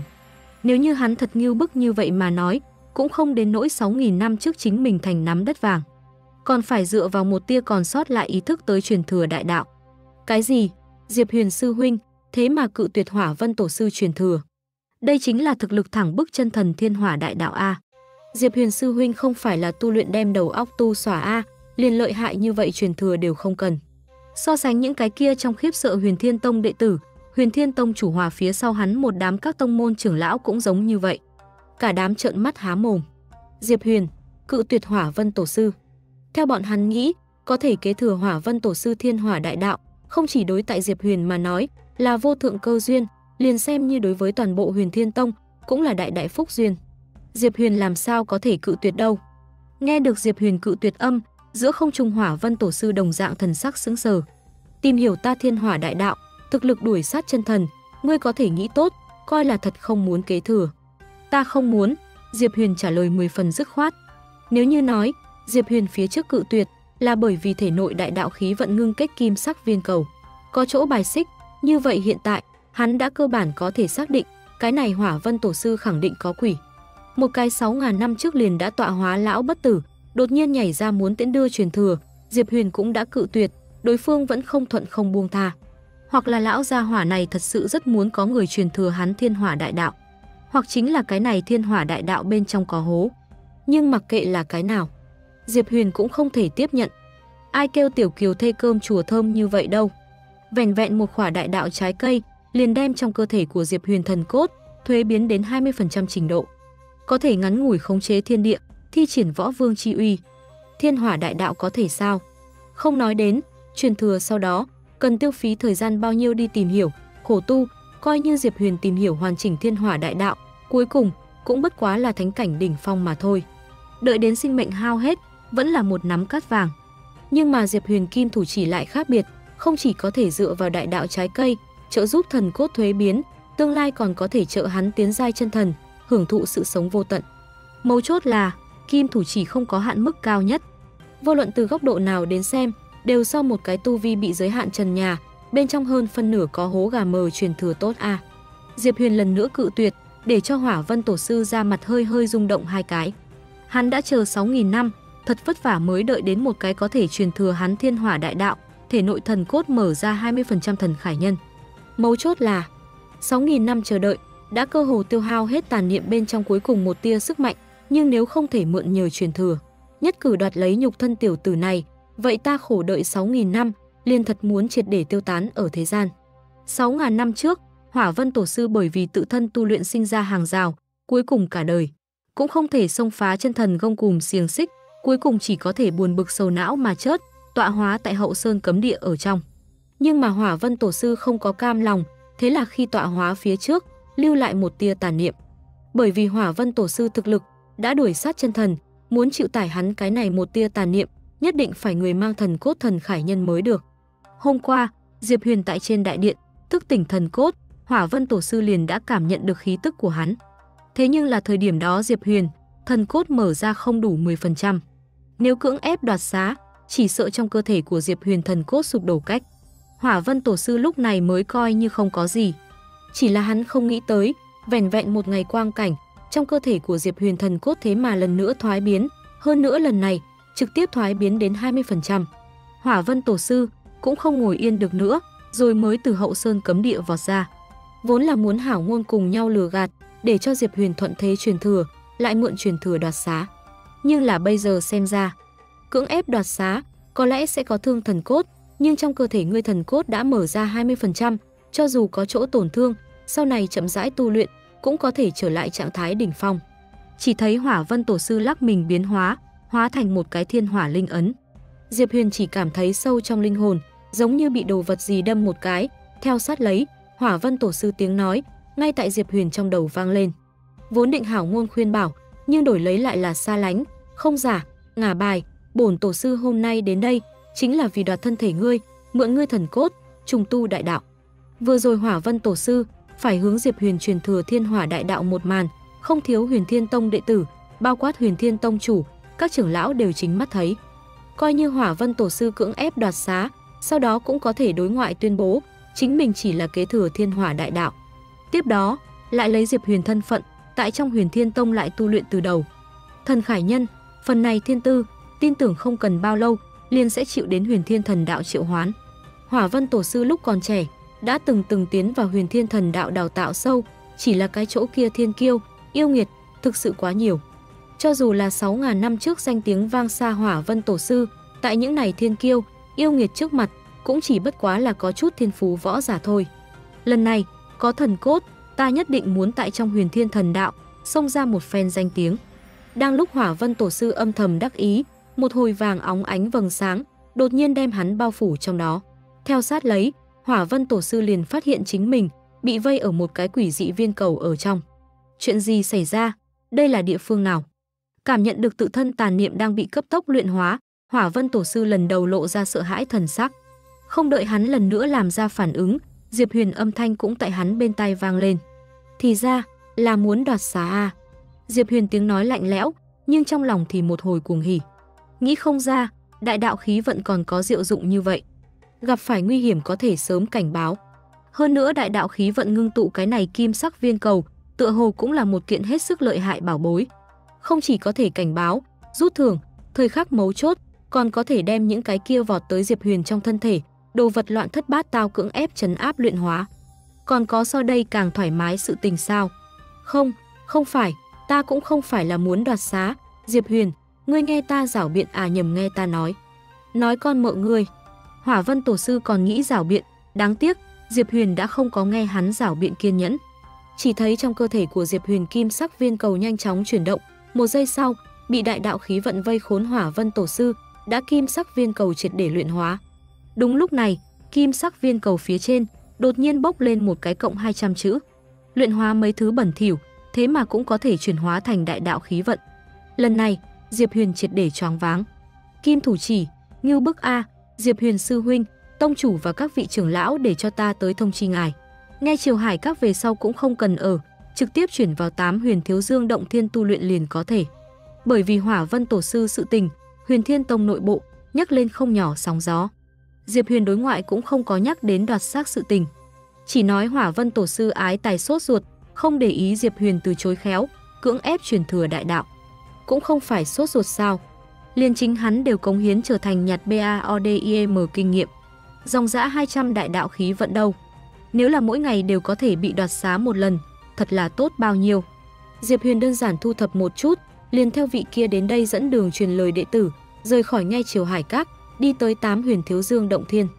Huyền Thiên Tông động thiên phúc địa tổng cộng chia làm cửu phẩm. Phổ thông đệ tử chỉ có tư cách tiến vào nhất phẩm động thiên ở trong tu hành. Thiên phú tốt một chút nội môn đệ tử, y theo riêng phần mình thiên phú trình độ, phân biệt có thể tiến nhị phẩm, tam phẩm, tứ phẩm tu luyện. Ngũ phẩm đến lục phẩm động thiên là chuyên môn kết thân truyền đệ tử cởi mở. Thất phẩm động thiên đã đạt đến trưởng lão cấp bậc. Tám huyền thiếu dương động thiên xem như bát phẩm động thiên, chỉ có lịch đại huyền thiên tông thiếu tông chủ mới có tư cách nhập chủ tu luyện. So với tông chủ sử dụng cửu huyền tử phủ động thiên, vẻn vẹn chỉ thấp nhất phẩm. Sinh tử thí luyện chưa bắt đầu, tông chủ liền đã để cho Diệp Huyền sư huynh tiến vào tám huyền thiếu dương động thiên tu luyện, xem ra Diệp Huyền sư huynh, Huyền Thiên Tông thiếu tông chủ vị trí ổn. Dọc theo đường đi, cái kia đến đây truyền lời Huyền Thiên Tông đệ tử, đều đối Diệp Huyền đáp lại sùng kính, ánh mắt hâm mộ. Diệp Huyền có thể vào ở tám Huyền Thiếu Dương động thiên, này bằng với Huyền Thiên Tông chủ, đã chấp nhận hắn thiếu tông chủ thân phận. Diệp Huyền trở thành thân truyền đệ tử mới bao lâu? Nhanh như vậy liền thành Huyền Thiên Tông thiếu tông chủ.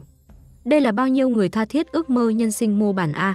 Trước khi đến tám Huyền Thiếu Dương động thiên nửa đường bên trên, Diệp Huyền còn cố ý đường vòng đi một chuyến Huyền Thiên Tông phía sau núi, lịch đại tổ sư Mai Cốt chi địa. Kết quả, hắn ở nơi đó chuyển nửa ngày, cũng không gặp lại giống Hỏa Vân tổ sư như thế, cưỡng ép đoạt xác kinh nghiệm bảo bảo. Ai, xem ra, giống Hỏa Vân tổ sư dạng này, một lòng nghĩ đoạt xá đệ tử hố bức tổ sư ra vẫn là số ít. Trong mắt Diệp Huyền ẩn ẩn thoáng qua vẻ thất vọng ánh mắt. Bất quá, một màn này xem ở sau lưng dẫn đường Huyền Thiên Tông đệ tử trong mắt, lại là không khỏi một hồi nổi lòng tôn kính. Diệp Huyền sư huynh vừa mới tiếp nhận Thiên Hỏa Đại Đạo truyền thừa, cứ như vậy không kịp chờ đợi, đi tới lịch đại tổ sư Mai Cốt chi địa tế điện, hắn tôn sư trọng đạo khí khái, quả nhiên là chúng ta đệ tử trẻ tuổi mẫu mực. Đi tới tám huyền thiếu dương động thiên Diệp Huyền, rất nhanh liền cảm nhận được ở đây bàng bạc thiên địa linh khí. Động thiên phẩm cấp phần lớn cùng linh mạch có liên quan, phẩm cấp càng cao, khoảng cách linh mạch càng gần, thiên địa linh khí ngưng kết càng nhanh, liền thiên địa đại đạo cảm ngộ cũng sẽ càng thêm hoàn chỉnh. Trong cơ thể của Diệp Huyền thần cốt vừa mới thuế biến, chính là cần cảm ngộ đại đạo, củng cố cảnh giới thời điểm. Huyền Thiên Tông chủ cử động lần này, không thể nghi ngờ là đang toàn lực lôi kéo Diệp Huyền. Bất quá, Xem như thiên tài, Diệp Huyền những năm này cũng sớm đã quen thuộc loại này lôi kéo. Từ Diệp tộc đến Huyền Thiên Tông, Diệp Huyền cùng nhau đi tới, đều là như thế. Chỉ có sinh ra giá trị mới có thể bị người lôi kéo. Huyền Thiên Tông loại này lôi kéo, tại Diệp Huyền xem ra trăm lợi mà không có một hại. Ngược lại là đối với hắn năng lực một loại chắc chắn. Ân, Diệp Thù làm sao còn không trở lại, ta gần nhất tại trên phương thức văn tự thuyết minh chân thành tha thiết tình cảm, giống như lại có cảm ngộ mới, là thời điểm lại cho Tiểu Kiều Thê viết phong thư.